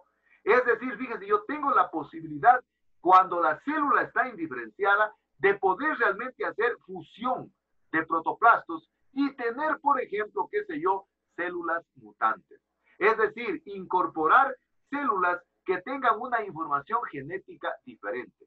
Como tengo la posibilidad de manejar como un microorganismo las células indiferenciadas, entonces es el momento para poder tener células mutantes. Una vez que yo he logrado realmente hacer ese cruzamiento, esa hibridación, a continuación puedo colocar la colonia de células o el inóculo inicial de las células en un medio de cultivo para que nuevamente la célula comience a regenerar. y comienza a degenerarse y forma nuevamente una callosidad. Y a partir de esa callosidad, yo puedo obtener la formación de brotes de nuevo y de esa manera tener plantas completas. Lógicamente que en esto nuevamente juega un papel fundamental la adición de los reguladores de crecimiento. Es decir, eh, para la formación del callo, auxinas en altas concentraciones. Para, en cambio, la desdiferenciación del callo, para la formación de brotes de nuevo, necesito, en cambio, la adición de citoquininas en concentraciones de medias a altas. Entonces, repito, síntesis. El cultivo de células en suspensión consiste en partir de un callo. El callo se lo mantiene en constante agitación, las células se individualizan, se tiene un inóculo inicial de 0,5 a 2,5 por 10 a la quinta célula por mililitro se las vuelve a subcultivar la célula, pero en ese lapso se pueden hacer células mutantes, se tiene un callo y del callo nuevamente se puede obtener brotes de nuevo con la utilización de reguladores del crecimiento. Veamos el cuarto tipo, el cuarto tipo de cultivo de tejidos vegetales. Decíamos que indistintamente se utiliza para decir cultivo de órganos, cultivo de tejidos, cultivo de células de expresión, en forma indistinta cultivo de tejidos. Sin embargo, cada uno de ellos tiene su particularidad especial. Veamos qué características, en cambio, tiene el cultivo de protoplasma. En una de las clases iniciales, cuando iniciábamos la asignatura, habíamos señalado de que una de las características fundamentales que tenía la célula vegetal de la célula animal eran tres características. ¿Cuáles eran esas tres características? A ver, este... Narváez Luis, Narváez Luis, una característica que diferencie la célula vegetal de la célula animal. Luis. El núcleo. ¿Cuál? El núcleo de cada célula. Todas las células tienen núcleo. Todas las células. La vacuola, Es. A ver, otro. Curillo, Curillo segundo. Una diferencia de la célula vegetal de la célula animal. Chutay cuando me vas a enamorar. No, no, no están en clase, están en cualquier. A ver. A ver, segundo. Eh, sería, eh, sería poner vacuola, ingeniero. Vacuola, una, perfecto. Una vacuola. A ver, vamos a ver. Ahora voy a estar así por nombres, no queda más. No están ahí. A ver, este, si Salima Lady, otra diferencia, ya dijo vacuola una. Lady, ¿cuál sería otra diferencia de la célula vegetal y animal? Este es, ya, sería la, en animal la ausencia de pared celular y los cloroplastos. Ya, pared celular y cloroplastos, ya dijo las dos. Entonces, ¿cuáles son las tres grandes diferencias? Gracias, Lady. Muy bien, gracias, segundo. Muy bien. Primero, entonces, la pared celular. Segundo, la vacuola. Y tercero, los plastidios. Los plastidios. ¿En qué consiste el cultivo de protoplasma? Entonces, una de las características fundamentales que tiene la célula vegetal es de que tienen pared celular. La pared celular habíamos señalado que se caracteriza por ser una pared enriquecida básicamente con celulosa, hemicelulosa, lignina y pectina. Esa característica química de la pared celular le da una dureza característica. Por eso decíamos de que la, la parte muerta, la parte ergástica de la célula, decíamos que es el paraplasma, que está conformado entonces por la pared celular cuando la célula deja de crecer y se forma paraplasma, que es la parte muerta. Pero la pared celular, como es rígida, es de carácter mecánico, protectora, protege a la parte del citoplasma y el núcleo. Y la parte del citoplasma y el núcleo se llama, ¿cómo se llama? A ver, la parte del citoplasma y el núcleo, ¿cómo se llama? Eh, señor Rivas, señor Rivas, ¿cómo se llama la parte que conforma el citoplasma y el núcleo? ¿Cómo se llama? Rivas. La parte que conforma el citoplasma y el núcleo. ¿Cómo se llama? El... ¿Cómo se llama? ¿Sí? La pared celular. Señorita Pereira, ¿cómo se llama la parte que forma el citoplasma y el núcleo? Pereira. Pereira la una. Señorita Pereira las dos. ¿Cómo dijo Inge? ¿Cómo se llama? O sea, no están en clase, no están en clase, no están atendiendo. ¿Cómo se llama la parte que conforma el citoplasma y el núcleo de la célula? ¿Cómo se llama? Membrana plasmática. Yo le digo el protoplasma. Protoplasma. Se llama protoplasma. El paraplasma es la parte muerta, está en el glosario, ¿verdad? Protoplasma es la parte viva, es la parte fundamental de la célula. Entonces, ¿en qué consiste el cultivo de protoplasma? Primero, entonces, consiste en tratar de digerir en tratar de eliminar la pared celular, que es la parte muerta, que es la parte ergástica de la célula, y dejar el protoplasto.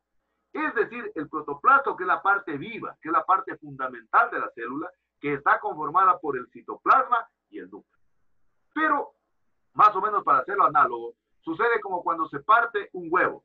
Se la saca del cascarón y la yema está temblándose ahí. Es decir, el protoplasto es osmóticamente frágil. Es decir, se puede romper, se puede perder la tensión superficial. Entonces, para evitar realmente de que se pueda perder la tensión superficial, entonces hay que cuidar que el protoplasto no pierda esa rigidez.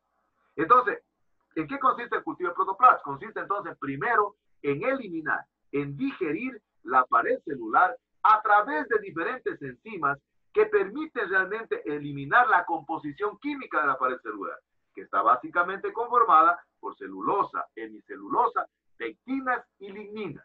Entonces, eliminamos la pared celular y al eliminar la pared celular nos queda el protoplasto, pero el protoplasto es osmóticamente frágil, como la clara de huevo, como la yema de huevo que está temblándose. Es decir, hay que cuidar que no se pierda la presión osmótica, que no se pierda la tensión superficial que existe. Y para ello, entonces, para evitar que el protoplasto entonces se rompa, se pierda la tensión superficial, se pueden utilizar estabilizadores osmóticos. Y dentro de los estabilizadores osmóticos que se pueden utilizar está, por ejemplo, el manitol y el sorbitol. El manitol y sorbitol son productos químicos que hacen que el protoplasto se mantenga intacto, que no pierda su tensión superficial. Luego se lavan los protoplastos, se eliminan los, los rezagos, se eliminan las enzimas que se utilizaron, si se utilizó manitol, sorbitol, se elimina todas las trazas, todos los restos que pueden quedar de la enzima, entonces se lava el protoplasto, y una vez que se lava el protoplasto, nuevamente se vuelve a subcultivar en un medio de cultivo que puede ser mucho más complejo, pero menos concentrado. ¿Qué quiere decir eso? Es decir, que puede tener muchas sales, pero las sales pueden estar en baja concentración. Durante ese tiempo que la célula está desnuda, la célula no tiene la pared celular, es decir, solo tiene el, citoplasma y el núcleo, que forma parte del protoplasto, que forma parte de la parte viva, fundamental de la célula, se puede aprovechar para hacer fusión de protoplastos. Se puede hacer para hacer combinación de células que tengan información genética diferente y de esa manera entonces combinamos, combinamos células que tienen información de un diferente origen. Y podemos entonces tener, por ejemplo, lo que llamamos dentro de la, de la formación, lo que tenemos los, los híbridos interespecíficos e híbridos intraespecíficos. Ya vamos a explicar aquí. Entonces, la célula está desnuda. La célula hemos eliminado la pared celular. El protoplasto debemos cuidar que no pierda su tensión superficial. Y para ello utilizamos estabilizadores osmóticos, como el caso del manitol o sorbitol. Luego subcultivamos entonces los protoplastos en un medio de cultivo que tenga una mayor complejidad, pero una menor concentración de sales. Aprovechamos en este momento para hacer fusión de protoplastos con información genética diferente y luego nuevamente cuando ya están subcultivados, ¿no? Los protoplastos comienzan nuevamente a regenerar su pared celular. Fíjense, comienzan nuevamente a recuperar su pared celular que la habíamos digerido, pero la, los protoplastos ya están fundidos, ya tienen la información genética diferente. En uno o tres días nuevamente se reincorpora, se reincorpora la pared celular y si yo he utilizado el regulador de crecimiento adecuado, induzco la formación de un callo y luego de esos callos yo pueda nuevamente obtener brotes de luz. Pero ¿cuál es la característica particular? La característica particular es de que en la ausencia de la pared celular yo aproveché para poder hacer inducción de información genética diferente. Es decir, para tener células mutantes o células híbridas. Y decíamos que los híbridos pueden ser de carácter interespecíficos o pueden ser híbridos de carácter intraespecíficos. Ese sería bueno que pongan en el glosario. Híbrido interespecífico, híbrido intraespecífico. ¿Qué dicen ustedes? ¿Alguien sabe? Yo sé que ustedes están estudiando genética, ¿verdad? ¿Alguien sabe qué será un híbrido interespecífico y qué será un híbrido intraespecífico? ¿Verdad? Alguien que me diga. Alguien que conozca qué es un híbrido inter y qué es un híbrido intraespecífico. A ver.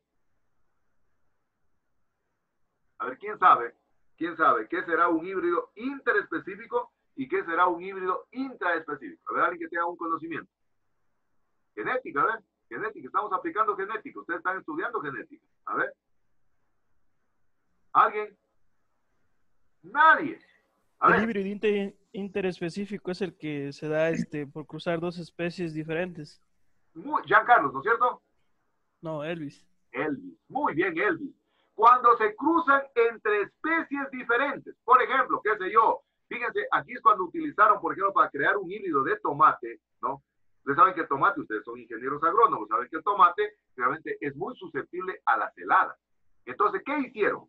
Hicieron un híbrido somático, o sea, sería un híbrido asexual utilizando lógicamente, utilizando lógicamente la utilización de reguladores de crecimiento. Entonces digo que un híbrido interespecífico. Utilizaron el tomate y como tenía susceptibilidad a heladas, entonces le indujeron, hicieron una fusión de un protoplasto de un pez que vivía en las profundidades marinas y como vivía en las profundidades marinas, pues tenía resistencia a heladas. Entonces se creó un híbrido interespecífico. Lógicamente que algunos satanizan mucho a los híbridos somáticos o generalmente a los transgénicos, porque estamos haciendo transfusión de información genética diferente, de origen diferente. Entonces algunos posteriormente los satanizan mucho a los transgénicos y dijeron, por ejemplo, que ese, ese tomate produjo mucha psoriasis en la gente que lo consumía. Hay gente que está a favor, hay gente que está en contra, pero desde el punto de vista genético, y ustedes me van a dar razón, ustedes están estudiando ahora, hay esa posibilidad. Entonces, hay la posibilidad de poder entonces tener información genética exógena. Durante el protoplasto que está liberado de la pared celular, yo puedo entonces introducir información genética diferente. Entonces, ese es un híbrido interespecífico. ¿Y qué será en cambio un híbrido intraespecífico? Intraespecífico. ¿Qué será? ¿Qué será un híbrido intraespecífico? Se cruzan dos especies de la misma, de la misma especie, Inge. Es decir, cuando cruzamos dos especies dentro de la misma especie, ¿no es cierto? Es decir, por ejemplo, qué sé yo, tengo, no sé, eh, eh, frijol de una variedad, no sé, por decir algo, el bola, y lo quiero cruzar con el amarillo. Es decir, estoy haciendo dentro de la misma, de la misma especie, estoy haciendo un híbrido somático. ¿Verdad? Híbrido somático es un híbrido asexual. Esa es la ventaja de los protoplastos. Generalmente los híbridos, la mayor parte de los híbridos son sexuales. Por ejemplo, el caso del maíz, tapamos la panoja del maíz con una funda y hacemos el cruzamiento. Acá la diferencia es que la fusión del protoplasto me permite hacer fusión o introducción de información genética exógena, pero de carácter asexual. Entonces, los híbridos somáticos son híbridos asexuales. Entonces, esa es la razón por la cual el cultivo de protoplastos es muy utilizado para poder realmente hacer el mejoramiento genético de las plantas.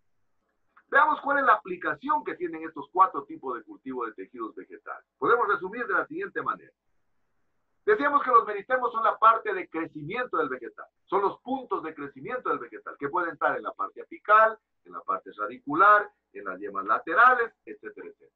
Fíjense que aquí es de fundamental importancia considerar dos elementos fundamentales que quiero consultarles a ustedes que deben conocer estos términos. La filotaxia y la topófisis. ¿Qué es la filotaxia? A ver, ¿quién se acuerda qué es la filotaxia?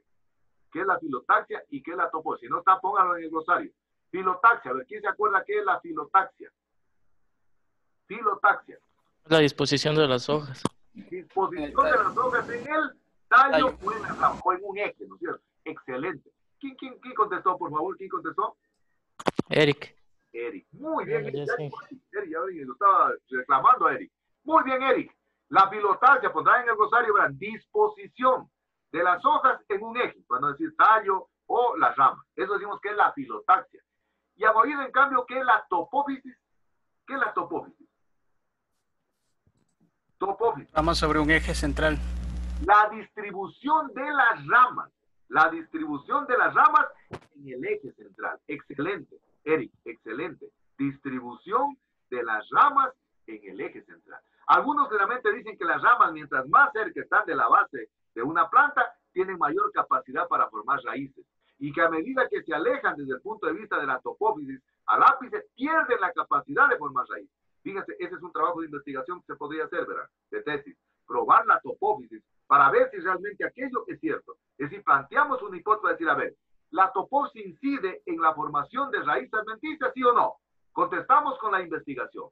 Entonces, el cultivo de meristemos, decimos que desde el punto de vista del crecimiento son el punto de crecimiento, ¿no? Que puede estar en la topófisis o también en la filotaxis, ¿no?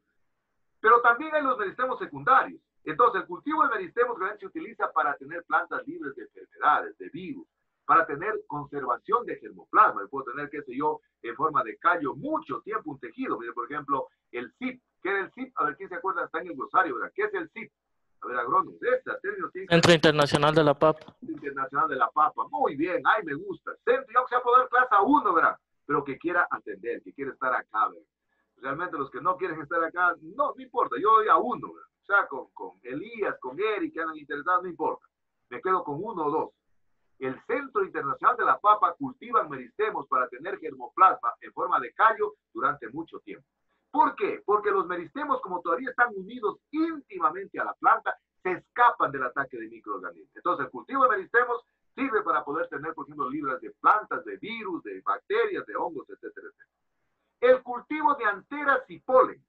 Recuerden ustedes que la antera y el polen es el órgano sexual masculino de las plantas. Y la célula sexual, que es otra cosa, es la que alberga el, el órgano. Dentro del órgano sexual masculino está el anterozoide y dentro del órgano sexual femenino está la oósfera. Se puede utilizar el cultivo de anteras de polen para obtener plantas mutantes, es decir, plantas que tengan información genética diferente o para tener plantas haploides. A ver, ¿quién me dice qué será una planta haploide? A ver, voy a, voy a preguntar, voy a preguntar, voy a preguntar a, no me diga, voy a, voy a preguntar al señor, al señor, a la señorita Ambuludí, Ambuludí, Ambuludí Ulisa, ¿qué será una planta haploide? Para el glosario, planta haploide, ¿qué será? Que tienen la mitad de la información genética que la planta madre. Excelente, Yulisa. Felicitaciones. Qué hermoso. Ya voy acá con tres, ya. Tres tengo ya. No importa. Tres. Con tres me quedo. Planta haploide que tiene la mitad de la información genética. Claro, si estoy utilizando el polen, las anteras, entonces yo voy a tener plantas haploides que tienen la mitad de la información genética. Y recuerden ustedes que desde el punto de vista genético, las plantas haploides son importantísimas para el mejoramiento genético de las plantas. De forma natural es muy difícil obtener una planta haploide. El cultivo de callos sirve para la selección de variantes y de mutantes. El cultivo de células en suspensión, igual puedo tener variedades, puedo tener plantas mutantes y puedo incluso yo tener metabolitos secundarios. Es decir, puedo tener yo los principios activos incluso de ese tipo de plantas. El cultivo de protoplastos, decíamos que el protoplasto es la parte viva, es la parte fundamental de la célula. Y cuando la planta, la, perdón, la célula está desnuda, yo puedo tener células mutantes, puedo tener híbridos somáticos. Lógicamente, esto ya es ingeniería genética de las plantas. Entonces, fíjense, normalmente los híbridos sexuales se obtienen por cruzamiento de polen. Por ejemplo, que si ustedes eh, están haciendo un cruzamiento en maíz o en frijol o en alguna variedad o especie en, en, en particular, ¿no? Se llevan el polen desde la antera y lo ponen en el estigma. Están haciendo un híbrido sexual, producto de cruzamiento, que puede ser inter o intraespecífico, que ya habíamos definido hace un momento. Pero el híbrido, el híbrido somático, es aquel que está formado por células vegetales. Es decir, en este caso, en este caso, estoy utilizando células, células. Es decir, por ejemplo, qué sé yo, vamos a suponer que estoy cruzando inter o intraespecífico, no sé, células o explantes diferentes, entonces el cultivo de protoplastos a mí me permite entonces tener híbridos somáticos, es decir, plantas de carácter asexual. Conclusión final entonces. De manera indistinta utilizamos la palabra cultivo de tejidos para referirnos ya sea al cultivo de órganos, al cultivo de tejidos propiamente dicho, al cultivo de células en suspensión o al cultivo de protoplasma. Pero si queremos hablar con propiedad, ¿no? decimos que el cultivo in vitro ha servido entonces para hacer estudios bioquímicos, fisiológicos, genéticos, es decir, porque a mí me permite manejar el tejido como un microorganismo. Entonces, por eso cuando yo quiero hablar con propiedad desde el punto de vista técnico, si a mí me dicen, sabe que yo voy a hacer una, un trabajo de investigación en papaya y voy a utilizar semillas, ¿qué estaremos usando? ¿Qué tipo de cultivo? Semillas de tomate o semillas de papaya. ¿Qué tipo de cultivo será? Voy a nombrar. No, no. A ver, este, eh, el, el, la señorita Cueva, señorita Cueva. Si yo utilizo cultivo de semillas de tomate o semillas de papaya, ¿qué tipo de cultivo estaría haciendo Vanessa?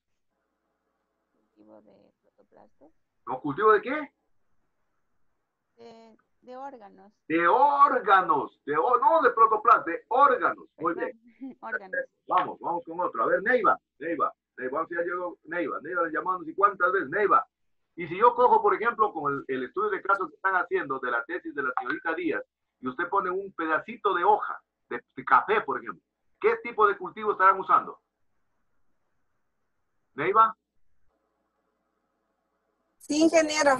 ¿qué tipo Ya estoy aquí. ¿Qué tipo de cultivo será si estoy utilizando un pedacito de hoja, como en el caso del estudio de casos que están analizando de la tesis de la señorita eh, Díaz, que utilizó ella en café un pedacito de hoja? ¿Qué tipo de cultivo estaría utilizando? El de órganos. Ay, ay, ay, El de tejidos. en el mar, en el mar este día. Chicos, ahí vamos a quedar.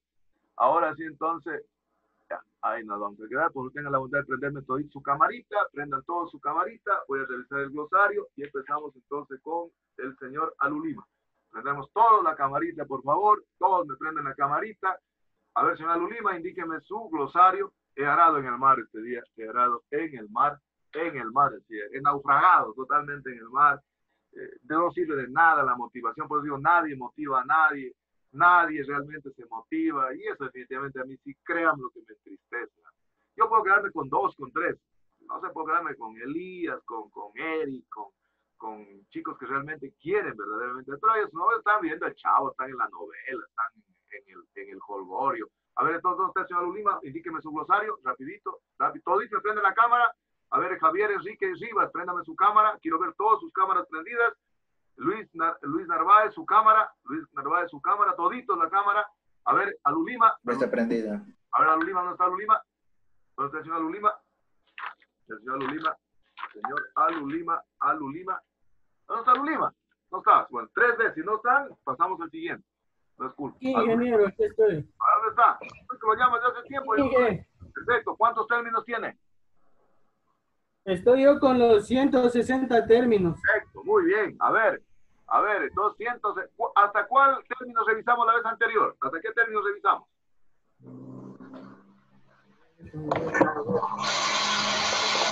¿Qué término revisamos la vez anterior?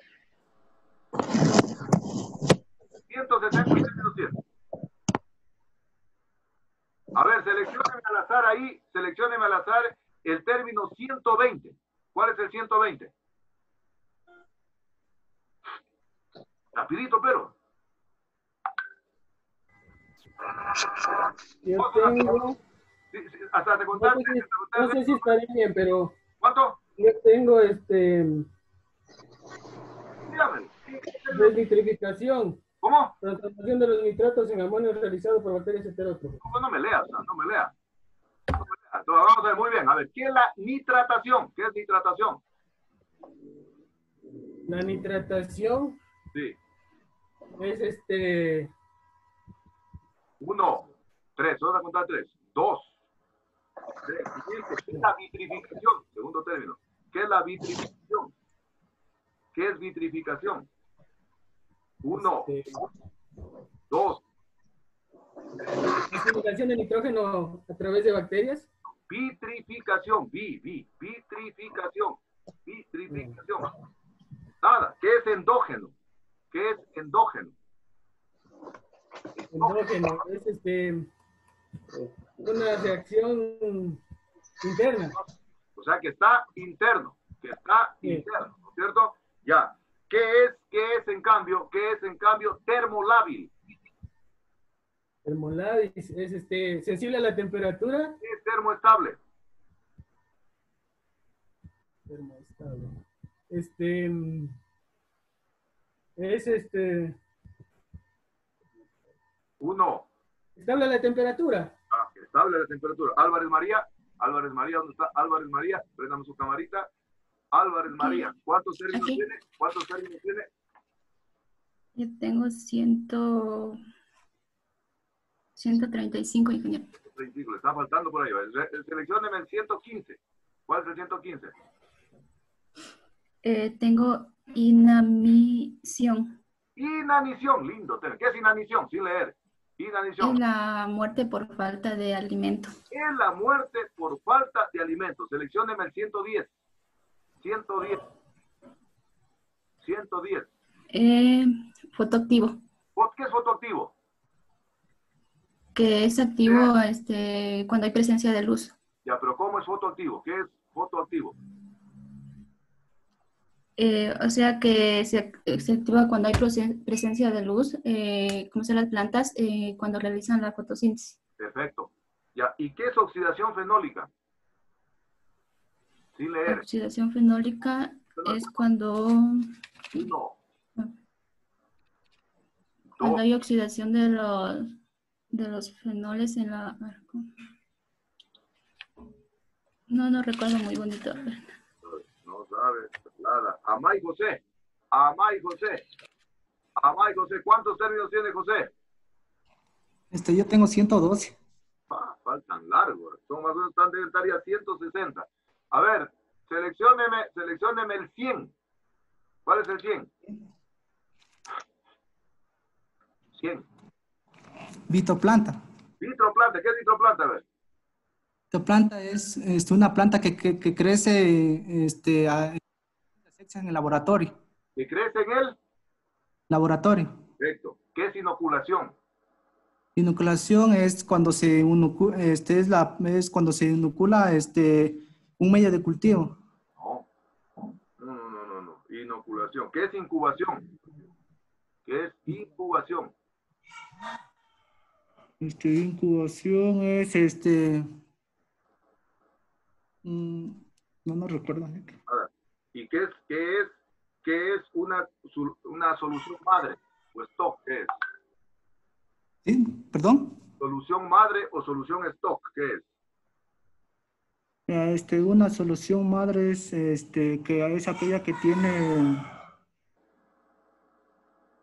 Uno, dos y tres. Nada. Nada que ver. Ambuludí Yulisa. Ambuludí Yulisa. Aquí, ingeniero. Yulisa. Ah, Yulisa. ¿Qué es una solución stock o una solución madre o concentrada? Préndame la cámara, cita Ortega. Préndame la cámara, cita Delgado. Los que no prenden la cámara no les voy a tomar el glosario. Los que no prenden la cámara no les tomo el glosario. Señorita Celi, préndame la cámara. Si no me prenden la cámara, no les tomo el glosario. A ver, Yulisa, ¿qué fue? Es la, es la solución este, que, que previamente se la va a utilizar para hacer las soluciones este, de en líquido y en sólido. ¿Cuántos términos tiene usted, Yulisa? 144. Más o menos, ya. Bueno, más o menos está. ¿Qué es una solución porcentaje peso? ¿Qué es una solución porcentaje peso? ¿Qué Es la, es la solución que... mm, Uno, dos y tres. ¿Qué Por ejemplo, cuando se va, este, la solución que se hace con las hormonas, ¿Qué es una solución porcentaje volumen? ¿Qué es una solución porcentaje volumen? ¿Qué es una solución? Tres veces repito, si tres veces no hay, pasamos siguiente al siguiente. ¿Qué es una solución porcentaje volumen? Pueden quedar clases así con la cámara encendida. Así voy a hacer las clases, con la cámara toditos encendida. ¿Qué es una solución? Porcentaje, volumen. Uno. No sé eso, ingeniero. No sabe. Esa consulta está desde que iniciamos la asignatura. Armijos María. Armijos María. ¿Qué es la... ¿Dónde está María? María. ¿Dónde está María? Ya. Aquí.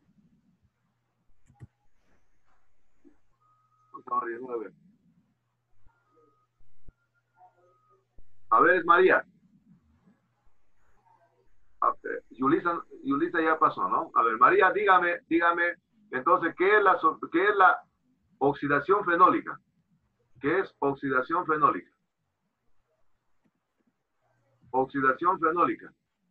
Ya, la oxidación fenólica es, de, es, un, es un fenómeno natural, eh, fotoactivo, eh, que la planta eh, eh, def- eh, como defensa contra los factores eh, bióticos y Lulima, préndame la cámara. A ver, repítame de nuevo. La oxidación fenólica es de cuando un fenómeno natural eh, fotoactivo de la planta como defensas eh, contra los factores bióticos y abióticos. ¿Pero qué es? ¿Qué tipo de fenómeno es? ¿Cuándo se activa la, oxi- la oxidación fenólica? Eh, se activa para, def- eh, contra, para defender contra los factores bióticos y abióticos. Más o menos. A ver, póngame un ejemplo de un de un de una sustancia antioxidante. Es, pues, a ver. No sé. ¿Tiene su cámara prendida, María? Yo no la veo. Ya, ya la vi ahorita, ahorita la vi. Una sustancia antioxidante, dígame. Nada. ¿Cuántos términos tiene? Eh, tengo 121. Falta. ¿Qué es una solución stock? ¿Qué es una solución stock? Madre o concentrada. Ya, eh, ya eh, la solución esto es, cuan- es la sustancia en la cual se la va a utilizar para realizar eh, em, soluciones posteriores. Bueno, no, también. ¿Y qué es una solución porcentaje peso? Porcentaje peso es, la es cuando se va a utilizar para realizar, eh, puede ser un, el clor- cloruro de sodio. ¿Pero qué es? ¿Qué es una solución porcentaje peso? ¿Qué es? Nada. Ávila Mayra. Ávila Mayra. Ávila Mayra. ¿Cuántos términos tiene? Mayra, Singe, ¿cuántos términos tiene? 135. Bueno, estamos más o menos cerca, pues son más, ¿verdad? ¿Qué es una solución porcentaje volumen? La solución porcentaje volumen es una es una solución es una solución donde el soluto y el donde el porcentaje es el soluto en el cual el, el volumen es el total de la de la solución es el soluto el soluto en el volumen Póngame un ejemplo.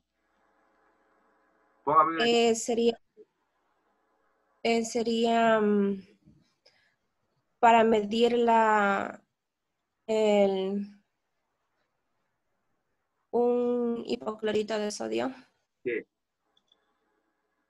Perdón. ¿Qué? ¿Hipoclorito de sodio en qué? En,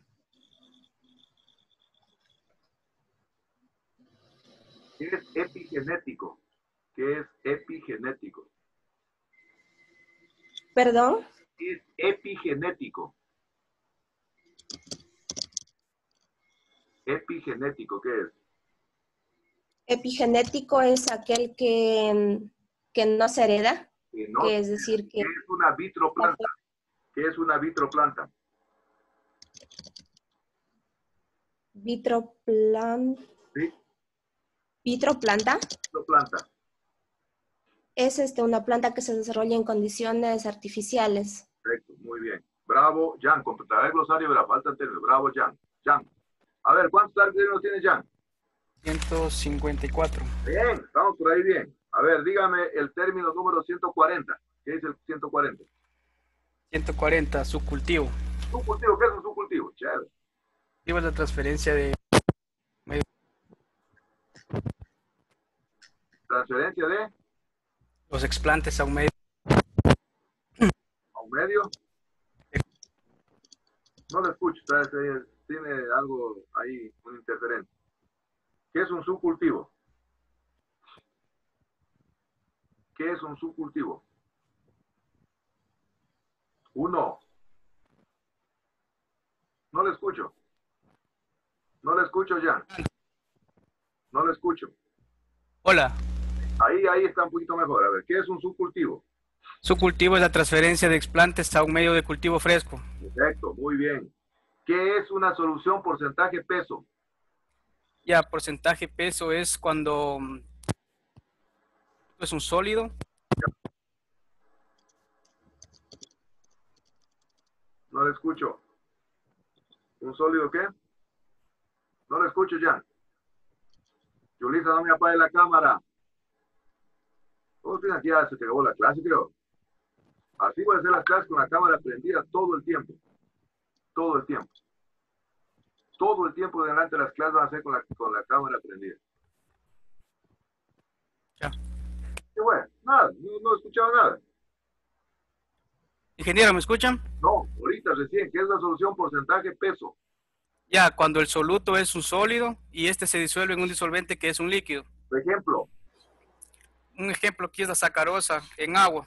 perfecto. ¿Cuál es el soluto y cuál es el disolvente?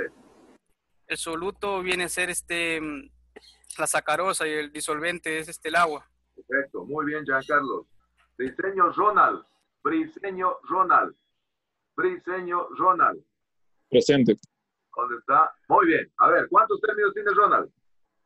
145. Bien, estamos bien. Dígame el 135. Ámbar. Ámbar. ¿Qué quiere ser ámbar? ¿Qué es ámbar? Es la coloración oscura que tiene la vidrería Muy bien. ¿Qué es una solución? para que no se altere el, el color. Muy bien. ¿Qué es una solución stop? Solución stock o solución madre es una concentrada que se, que se utiliza para, a- a- para dar nutrientes o sales minerales al medio de cultivo. Muy bien. ¿Qué es una solución porcentaje volumen? Ya, eh, la solución porcentaje de volumen es la proporción de- eh, es la proporción de unidades de volumen de un soluto por cada 100 unidades de volumen de una solución. Póngame un ejemplo. Póngame un ejemplo. Por ejemplo, la solución madre disuelta en agua, por ejemplo. Perfecto. Está muy bien. Muy bien, Ronald. Perfecto. Felicitaciones. Muy bien. Carrión Elvis. Elvis, ¿cuántos términos tiene Elvis? Elvis, ¿cuántos términos? 158. Sí, estamos bien. A ver, dígame el 135.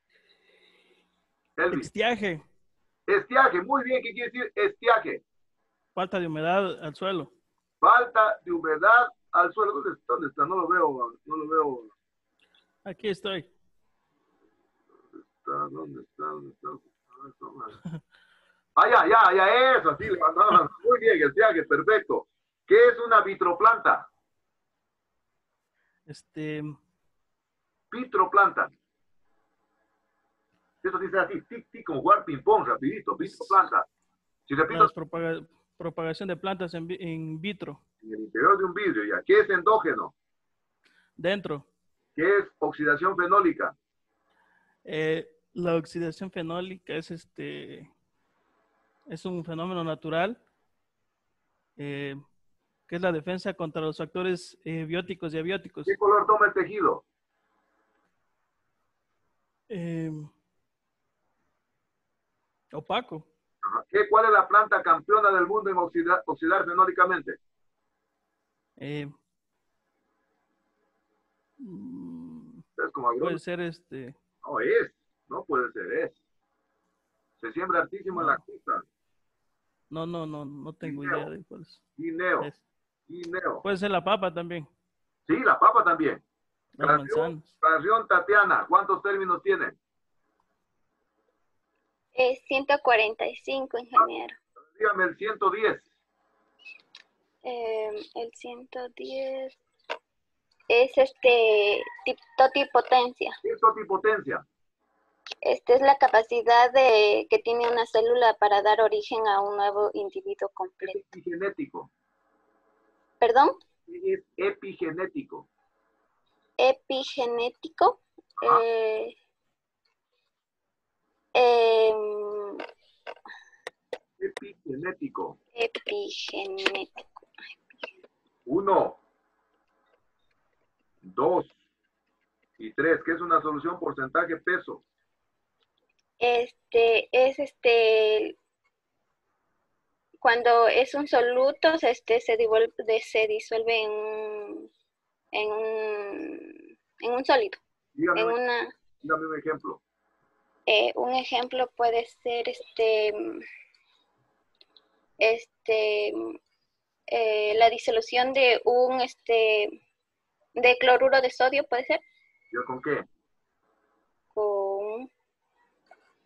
con agua. No, ¿cuál es el soluto y cuál es el disolvente en este ejemplo?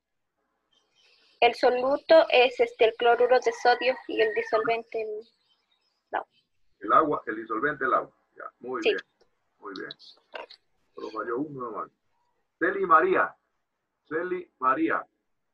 Presente, Inge. A ver, muy bien. ¿Cuántos términos tiene? Levánteme la cámara. Yo tengo 131, 138. Ya, 132, más o menos. Dígame el 120, ¿cuál es? El 120 tengo porcentaje volumen. ¿Qué es solución porcentaje volumen?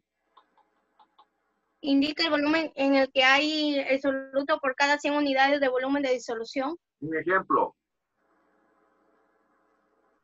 Eh, por ejemplo, puede ser eh, eh, cloruro de, igual, cloruro de sodio. La verdad que está leyendo. ¿Verdad que es por el cloruro de sodio que es líquido o sólido? ¿Mandé? El cloruro de sodio que es líquido o sólido? Nada, nada, nada. ¿Qué es epigenético? ¿Qué es Eh, epigenético? Levánteme la cámara. No me la esté meneando ahí. el que, que no se hereda. Que no se hereda. ¿Qué es oxidación fenólica? ¿Qué es oxidación fenólica? Oxidación fenólica. Uno, Eh, dos y tres. Cordero Manuel. ¿Cuántos términos tiene? Cordero Manuel. Cordero Manuel. Llámenlo, diga que estoy tomando el glosario, dígale, dígale que venga. Que deje de estar durmiendo y venga acá.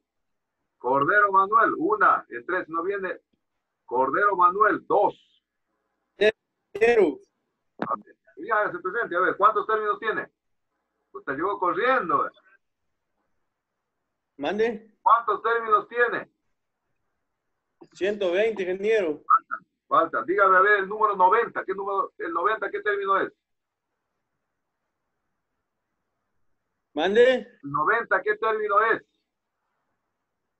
El 90 tengo esta intensidad lumínica. ¿Qué es intensidad lumínica?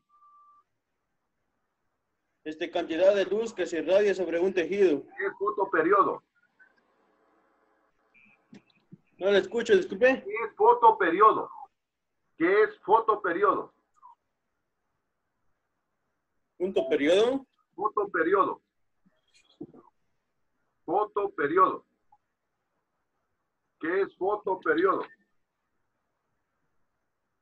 No, no. ¿Qué es epigenético? ¿Qué es epigenético? Si no está en clase, ¿cómo van a saber? Ni, ni yo entiendo. ¿Cómo? ¿Epigenético qué es? Epigenético. Este, ¿Epigenético qué es? Nada. Nada. Cueva Miriam. Cueva Miriam. ¿Cuántos términos tiene Miriam? Aquí, aquí, aquí. ¿Cuántos términos tiene? 145. Bien, estamos bien. A ver, dígame el 115. Mm, siento, cámara de flujo laminar. Cámara de flujo laminar. Es un equipo que se utiliza en, en los laboratorios para trabajar este, en condiciones de asepsia. Tiene un filtro que, que es anti, eh, antivirológico, o sea que permite la contaminación, impide la contaminación. Es inoculación. Perdón. Es inoculación. Ah, ya, la inoculación era el proceso este, mediante, mediante el cual este, podemos este, un patógeno y su hospedante este, entrar en contacto. Inoculación in vitro, quiero yo, vegetal. ¿Qué es Ah, ya, es, es colocar, colocar un, en nuestro caso, un, un explante en un medio, de en un medio Muy bien. de cultivo. ¿Qué es incubación? Incu- incubación. Ya es en cambio, ya es cuando luego de la inoculación, los eh, el, el lugar donde se almacena, el explante ya con las condiciones serían óptimas. ¿Qué es una solución porcentaje peso?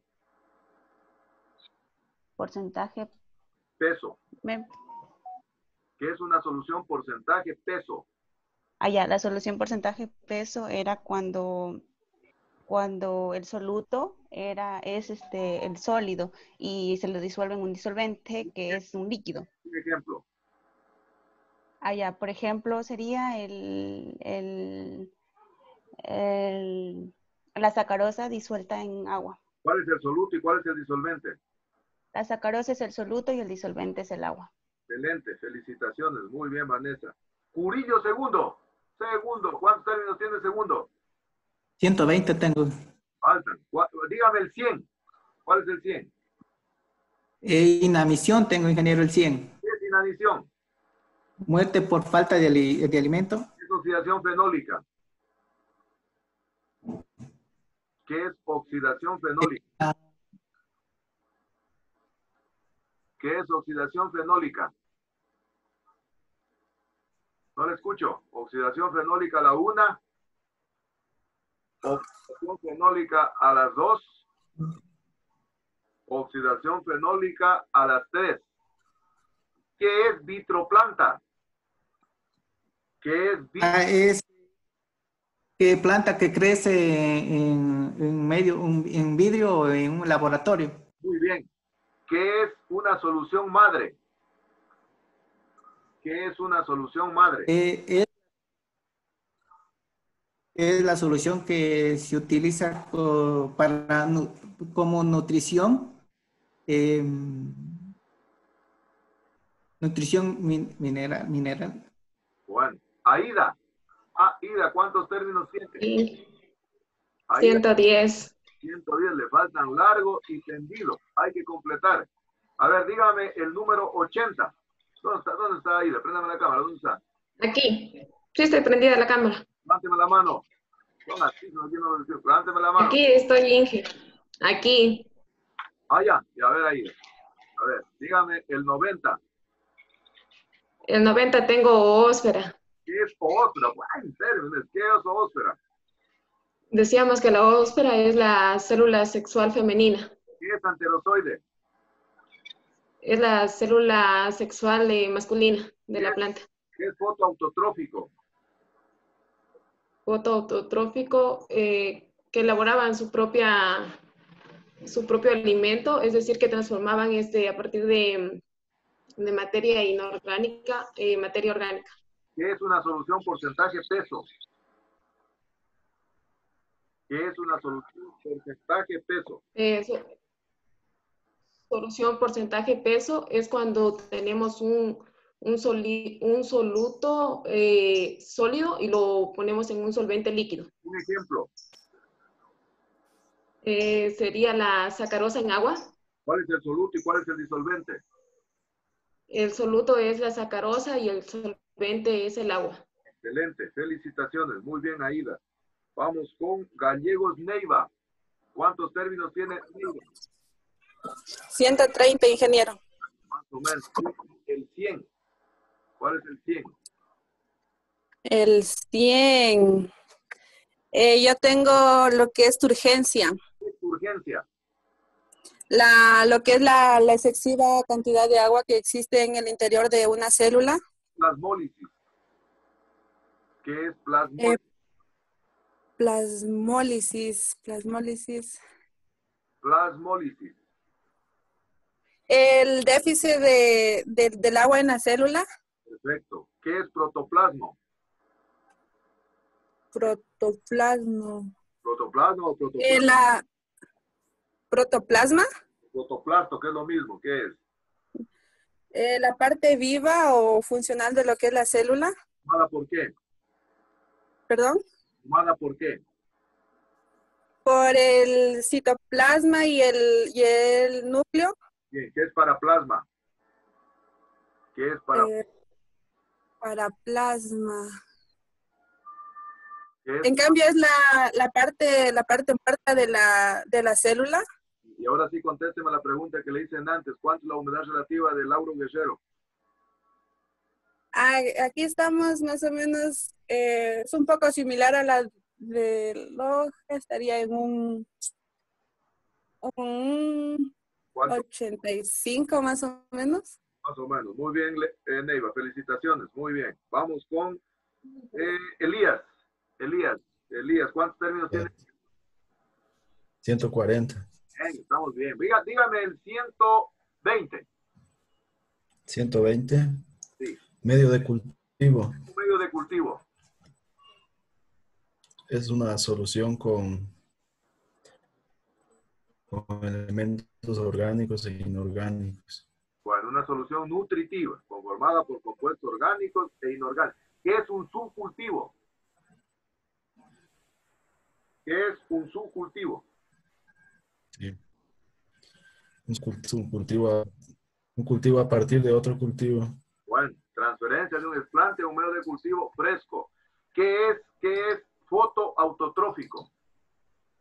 Fotoautotrófico que utiliza la, la luz para producir su propio alimento a partir de sustancias.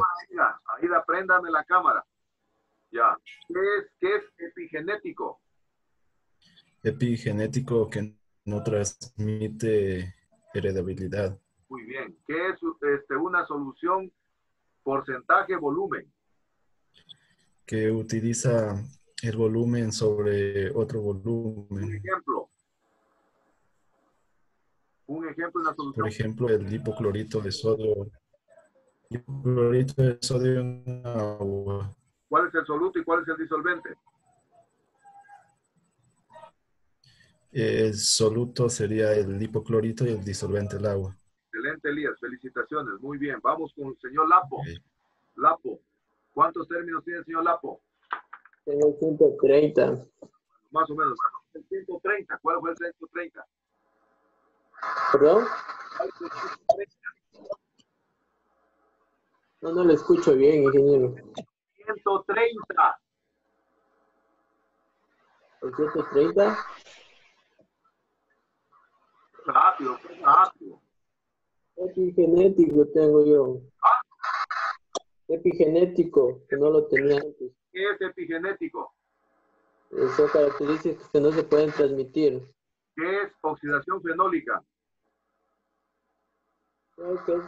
La respuesta este, a heridas que, que presentan las plantas.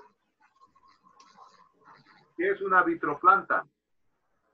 Vitroplanta, una Vitroplanta. planta que crece en, en vidrio. La lumínica. Intensidad lumínica es este, este, la intensidad de luz que reciben las plantas. Ya. ¿Qué es porcentaje volumen? Porcentaje volumen es cuando, cuando el disolvente y el, volu- y el solvente son, son líquidos. Dígame un ejemplo. Compañeros que este, el hipoclorito de sodio en el agua, ¿Cuál es el soluto y cuál es el disolvente? el disolvente es el agua y el soluto es el hipoclorito de sodio. Este, Byron. Narváez Luis. ¿Cuántos términos tiene Narváez Luis? Eh, 145. Dígame el 140. Eh, inclusión citoplasmática. Inclusión citoplasmática. Es el que cual- eh, cualquier tipo de sustancia inerte que puede o no estar en la célula. ¿Qué es inoculación? Inoculación es donde, a ver, el proceso en el que se coloca un explante en un medio de cultivo. Incubación. ¿Cómo? ¿Qué es incubación? Incubación es donde, a ver, se, a ver, donde se coloca un, ex- un explante y se lo, a ver, ¿cómo era? Me olvidé. Uno. Dos. Tres. Vitroplanta. Vitroplanta. Vitroplanta es el que el planta controlada en un medio de cultivo. ¿Qué es oxidación fenólica? Es, a ver, esta es la respuesta que, que, que da, que muestran las plantas. Perfecto. Bien. Vamos con Eric. ¿Cuántos términos tiene Eric? Conste, tengo 147. Dígame 137. 137. Tengo lo que es simbiosis.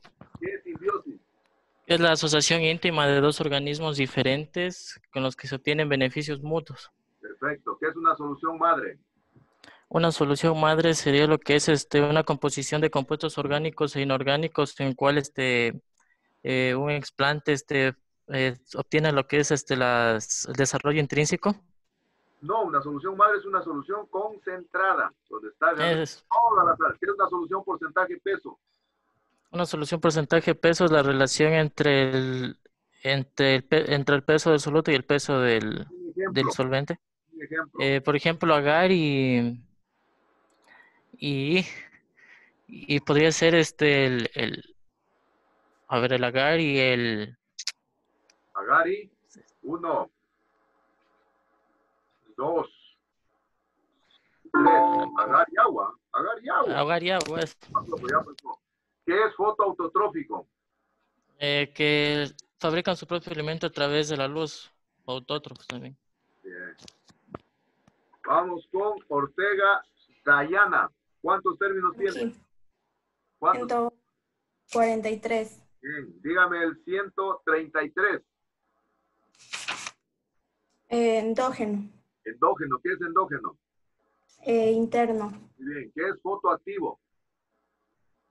Eh, Fotoactivo. que se activa en presencia de la luz. ¿Qué es oxidación fenólica? Una respuesta de las plantas. ¿Para qué? Eh, o sea, ante, puede ser ante una, eh, cuando sufren alguna alteración, una laceración. Bueno, ¿qué es una solución madre? Em, eh, un- un- una solución eh, que contiene minerales, vitaminas. Concentrada, pues, concentrada. ¿Qué es una solución porcentaje volumen? Eh, porcentaje volumen cuando el soluto viene siendo un líquido que si, des- que si que se disuelve en un, en un líquido mismo. Ejemplo, Em, agua y agar. agua y agar, mal. Esa es una solución. porcentaje peso. Vamos, Peso. Pereira. Ah, se equivocó. Pereira. Pereira. ¿Dónde está Pereira? ¿Cuántos términos? ingeniero. ¿Cuántos términos tiene? Se oye mal el, el audio, ingeniero. Allá. ¿Cuántos términos tiene la señorita Pereira? Pereira, ¿cuántos términos tiene? Señorita Pereira. Ingeniero, es que tengo un problema con la compu. Cuando activo el, la cámara con el audio sale distorsionado. A ver, entonces, a ver, diga, diga, entonces, diga, pero dígame, entonces, ya déjeme usted lo dígame qué es, qué es, qué es oxidación fenólica. Hasta contar tres, rapidito, está con la cámara apagada y puede estar leyendo. Uno, No le entiendo nada, ¿qué es una ingeniero. oxidación fenólica? ¿Qué es oxidación fenólica?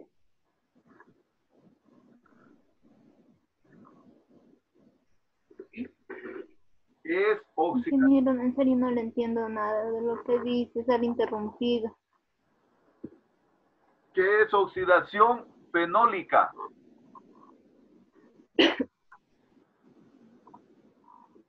Puchaisela Ana. Oxidación fenólica. Puchaisela Ana. Ana. ¿Está? Levánteme la mano. Sí, sí. Allá. A ver, ¿Cuántos términos tiene? 130, ve. Dígame el 120. 120. eh, humedad relativa. ¿Qué es humedad relativa? Contenido de agua presente en la atmósfera. ¿En forma de qué? ¿Y en qué se mide? ¿Mandé? ¿Qué se mide y en forma de qué está el agua en la atmósfera? De vapor. ¿En qué se mide? En La humedad relativa se mide en porcentajes, ¿no? Porcentaje, el porcentaje. ¿Qué es endógeno? Endógeno, Rapidito, muevan. dentro, ¿Qué es in vitro? in vitro. ¿Qué es? Es in vitro, es un Uno, dos, tres. in vitro. Vitroplanta. ¿Qué es vi- Microplanta, vitroplanta? Vitroplanta. ditro Sí, vi- o micro. Vitroplanta, vitroplanta con V, vitroplanta. Uno, dos, Vitroplanta es la planta que crece en el interior de un vidrio ya, ¿qué o es de fotoactivo? ¿Qué es fotoactivo? fotoactivo. Ajá. Es que se activa eh, por presencia de la luz. Perfecto. Y el último, y el último, ¿qué es inoculación? Inoculación. Ajá.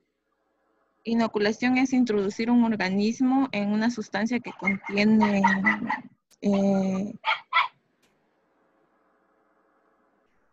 que no contiene gérmenes ni, ni enfermedades. Es inocular Ya, en una sustancia que no contiene. Así. perfecto. Vamos con Rivas. ¿Cuántos términos tiene Rivas?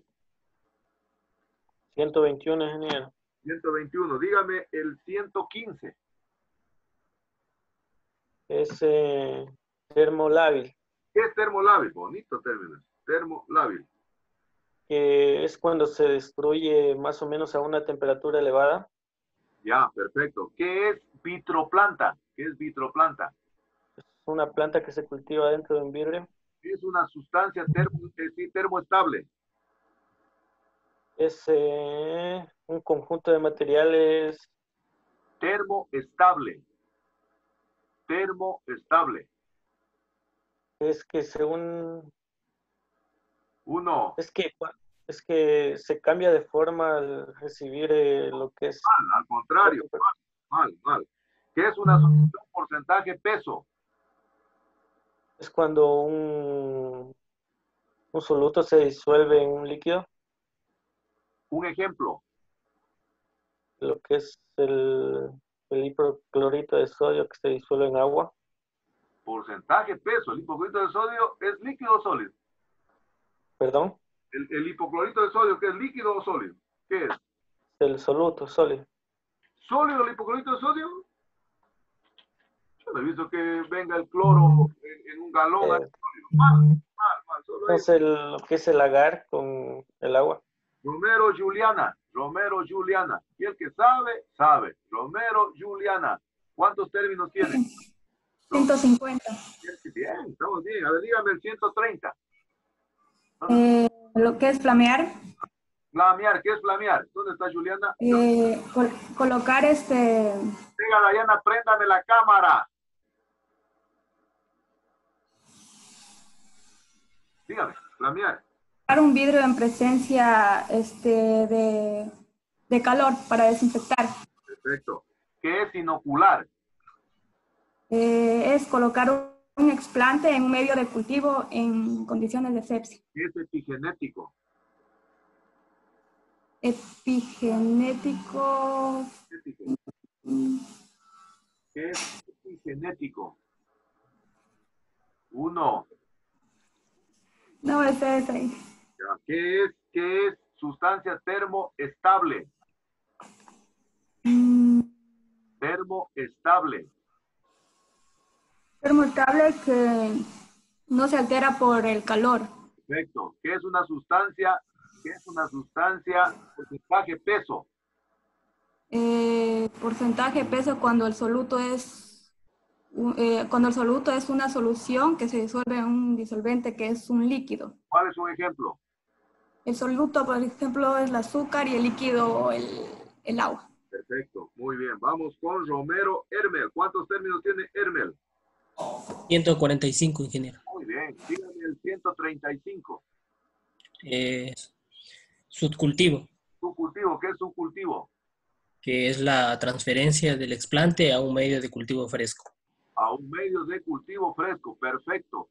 ¿Qué es un- una sustancia fotoautotrófico? ¿Un qué?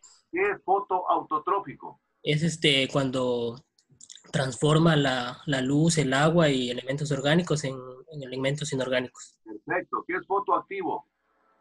que es activo en presencia de la luz. Muy bien. ¿Qué es oxidación fenólica? Eh, es un cambio en el tejido que cambia el color a, a un- a una coloración oscura. Perfecto. ¿Qué es una solución porcentaje volumen?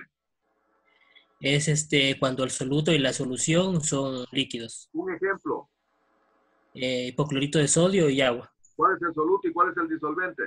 El soluto, el hipoclorito de sodio y el disolvente, el agua. Excelente. Así tienen que saber. Si saliva, Lady, ¿cuántos términos tiene? 137. Ah, Lady, a ver, 137, más o menos. Dígame el 127. 127. Agua desionizada. ¿Qué es agua deionizada? Bien, Eh, agua que tiene cero carga de iones. ya.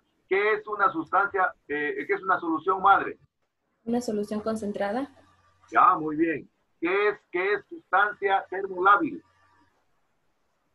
Termo, Una sustancia termolábil es termolábil. Es que no soporta el calor, temperaturas elevadas. ¿qué es una solución porcentaje peso? Una solución porcentaje peso es este donde el soluto es un sólido y el disolvente es un líquido. Póngame un ejemplo. El- la sal común, el cloruro de sodio en agua, disuelto en agua. ¿Y cuál es el disolvente? El soluto es la, el cloruro de sodio y el solvente es el agua. Excelente. Dígame, Valdés Mariana. Valdés Mariana. Valdés. Sí. Ay, Mariana. ¿cuántos términos tiene Mariana? Tengo 135. 135, más o menos. Dígame el 115. Mm, ya. Este, tengo solución madre. ¿Qué es una solución madre? Es este, una solución concentrada este, de minerales, vitaminas. ¿Qué es fotoactivo? Este, que se activa en presencia de la luz. ¿Qué es inocular? Este, eh, cuando se coloca un explante este, en contacto con el medio de cultivo. Perfecto. ¿Qué es incubar? Es cuando a este explante ya se lo lleva este, a condiciones ambientales controladas. ¿Qué es un subcultivo? Este, un subcultivo. Este es la, transfe- la transferencia del explante a, a- a un medio de cultivo fresco. Excelente. Vargas Diana. Vargas Diana. Vargas Diana. Vargas Diana. Vargas Diana. Vargas Diana. Vargas Diana. Pereira, Pereira Damaris. Pereira Damaris. A ver, ¿cuántos términos tiene? ¿Ya me escucha ahora? ¿Sí me escucha? Damaris. ¿sí me- Ingeniero, puedo, ¿Sí me escucha? Apague la ingeniero, cámara. es que tengo un problema con la compu. Apague la cámara para ver. Apague la cámara si ahí.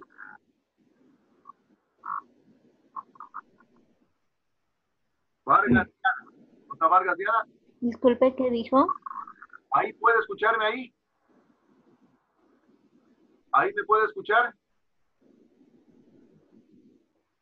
Sale igual interrumpido, ingeniero. Ya la llamo, ya la llamo, a su- ya la llamo, me, me pasa su número de teléfono para llamarla por teléfono, para llamarla por teléfono, para que no se quede sin la nota, ¿no? Me pasa su número de teléfono para, para llamarla por teléfono para que no se quede sin la nota. ¿Me está escuchando eso? Damaris, ya me pasa su número para llamarla inmediatamente, termino la clase, la llamo y me da por teléfono, ¿ya? Para que no se quede sin la nota, ¿no? Pero préndame la camarita ahorita ya, ¿no? Préndame la camarita, Damaris. No sé si tal vez la señorita Vargas también, eh, Neiva, ¿por le puede decir a la señorita Vargas que me mande su número de teléfono para llamarla para que no se quede sin la nota, ¿ya? No quiero que absolutamente nadie se perjudique. ¿Vamos? Neiva. Ya ahí. Sí, que ya le, ya me comunico con ella. Ah, perfecto. Chicos, realmente esta clase que me han defraudado. ah. Yo, yo pensaba que estaba sembrando en tierra firme, pero definitivamente no, poquitos son los que realmente le ponen interés. Ustedes verán, ya están en octavo ciclo. Fíjense, estamos, estamos, a ver, estamos a tres semanas prácticamente de estar ya en el siguiente ciclo, estar en noveno ciclo. Y eso exige responsabilidad. O sea, yo les dije a ustedes en- al principio de esa frase de, de Henry Ford que dice que calidad es hacer las cosas bien cuando nadie me ve, ¿no? Fíjense que en esta semana el Ministerio del Ambiente y el Agua, como ahora se llama, acuñó esa frase y la están poniendo como eslogan. Dice que el Ministerio del Ambiente es una institución en donde todos sus funcionarios funcionan con calidad sin que nadie los esté mirando. Fíjense. Entonces realmente es responsabilidad de ustedes. Entonces a mí sí me, a mí créanme, sí me baja la moral cuando veo que mis estudiantes no son contestatarios. Es decir, cuando yo realmente me mato preparándome, contándoles cosas, eh, tratando de motivarlos, pero nadie motiva a nadie, ¿verdad? Si yo no me motivo, así me pongan el oro y el moro, nadie se motiva. La motivación es interna y tiene que ser en función de mis intereses personales. Recuerden que ustedes en este momento están en un punto hermoso de la, de la carrera, un punto crucial de la carrera, que es ser ingeniero ingeniera agrónomo. Yo creo que esa motivación no puede ser. Mire, yo le estoy dando clase a los chicos de primer ciclo de forestal y una chica me dice, ingeniero, ya quisiera estar porque estoy dando clase a, les digo, a octavo de agronomía y a noveno de forestal. Una chica me dice, ingeniero, ya quisiera estar en octavo y noveno ciclo. Fíjense, ustedes ya están, ¿verdad? Pero realmente tienen que hacer el mérito, tienen que hacer el reconocimiento de estar ahí. Yo siempre digo que uno por la universidad hay que dejar huellas, no hay que pasar nomás por la universidad. Porque uno por la universidad puede pasar a usted en el bus, puede pasar con un avión de comida, puede pasar. Pero lo importante es que la universidad pase por uno. Entonces, a mí sí me interesa realmente que mis estudiantes hagan lo que les digo para tener éxito, conocimiento, esfuerzo y actividades. Y para tener conocimiento hay que estudiar, hay que saber estudiar y hay que volver a estudiar. Yo realmente ya los tengo identificados, verán, poquitos son los que están estudiando. Yo creo que no pasan contados con todos los dedos de, de la mano derecha, no pasan. El resto realmente no le están poniendo serio. Y les digo sinceramente, créanme que ustedes deberían ser los más interesados, porque ya se viene la siguiente, la siguiente, el ciclo, que es el proyecto de investigación. Hay una cantidad de chicos que me escriben, que les dé una manita en la problemática. Una chica me escribía de Yanzasa, otra chica me escribía de acá de Catacoche, que le ayude un poco en la justificación. Yo con todo gusto les ayudo porque realmente ya viene la responsabilidad de ustedes. Así que sí quisiera pedirles de la manera más respetuosa y comedida. Créanme, lo que para mí lo más interesante es que ustedes aprendan. Y para eso me preparo, para eso hago todo el esfuerzo. A mí no me interesa preparar a mis estudiantes para los exámenes, ¿verdad? A mí me interesa preparar a mis estudiantes para la vida profesional.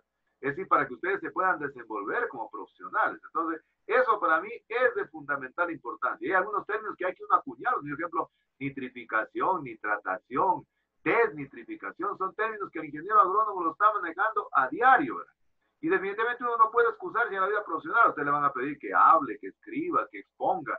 Y usted no se puede excusar. Así que chicos, yo les pido desde la, de la manera más respetuosa y comedida, con este cariño grande que les tengo, póngale más ganas en el asunto. Póngale más, no solo en la asignatura, sino en todas. Bien, entonces ahí vamos a quedar porque tengo que llamar a la señorita Pereira y a la señorita Vargas para tomar ese glosario por teléfono para que absolutamente nadie se perjudique. No quiero que nadie, absolutamente nadie se perjudique, porque no puede ser que la tecnología sirva como una limitante, por el contrario. Segundo, tiene la semana pasada, que fue antepasada, tenía problemas. Dije, no hay ningún problema. Segundo, veamos la forma cómo nos podemos conectar para que no se quede sin la nota. Esa es mi aspiración. Así que chicos, los motivo nuevamente a que le pongamos ganas al asunto, no solo en asignaturas, sino en todas va en beneficio de ustedes. Créanmelo sinceramente, a veces lo que uno no estudió en la universidad, después cuando es profesional se arrepiente, ¿verdad? Yo tengo una hija que es médica está preparando, está estudiando ahorita portugués para dar una prueba para, para ir a una universidad en Sao Paulo.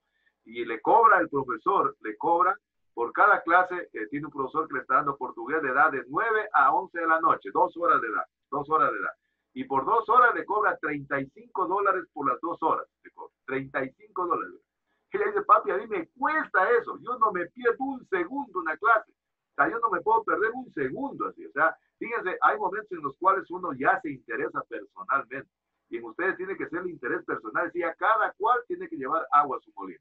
Así que chicos, de la, forma más respetuosa y comedida, con ese cariño inmenso que les tengo, pongan atención. No solo a mi clase, a todas las clases. Van a ver, van a ver cómo se van a sentir bien, cómo les va a servir para poder realizar y ejecutar su proyecto de investigación. Bien, chicos, pues ha sido un verdadero privilegio, un verdadero gusto trabajar con ustedes. No se olviden, pero de practicar ¿ah? el conocimiento, los esfuerzos y las actividades. Y para poder tener conocimientos hay que estudiar, hay que saber estudiar y hay que volver a estudiar. Así que les deseo que tengan un excelente, un excelente fin de semana, que realmente puedan aprovechar para poder estudiar, para poder descansar también, para cuidarse. Verán que esta pandemia parece que está recrudeciendo Fíjense que me contaba mi hija ayer que aquí en Loja en dos días han fallecido siete personas. Siete personas en dos días. La funeraria Jaramillo estaba repleta realmente de, personas que habían fallecido y yo creo que es importante realmente cuidar. Así que chicos, ha sido un verdadero privilegio, un verdadero gusto siempre para mí trabajar con ustedes, pero quiero que se me motiven un poco más. Así que si Dios lo permite, nos estamos viendo la próxima clase. No se olviden de hacer una buena presentación del tema que está pendiente para la próxima clase y ir analizando ya los estudios de caso para hacer una buena presentación. Recuerden, recuerden que ese va a ser la prueba número 3. Entonces, la prueba número 3, entonces hay que hacerla bien. Y siempre estén revisando la, la página web en, en el EVA para que no se quedan sin presentar hasta Entonces, sin más, nos vemos si Dios quiere la próxima semana. Que les vaya excelentemente. Que Dios los bendiga. Que tengan un buen fin de semana. Hasta luego, chicos. Gracias. Hasta luego. Gracias, ingeniero. Gracias, sí. Hasta luego. Cuídense.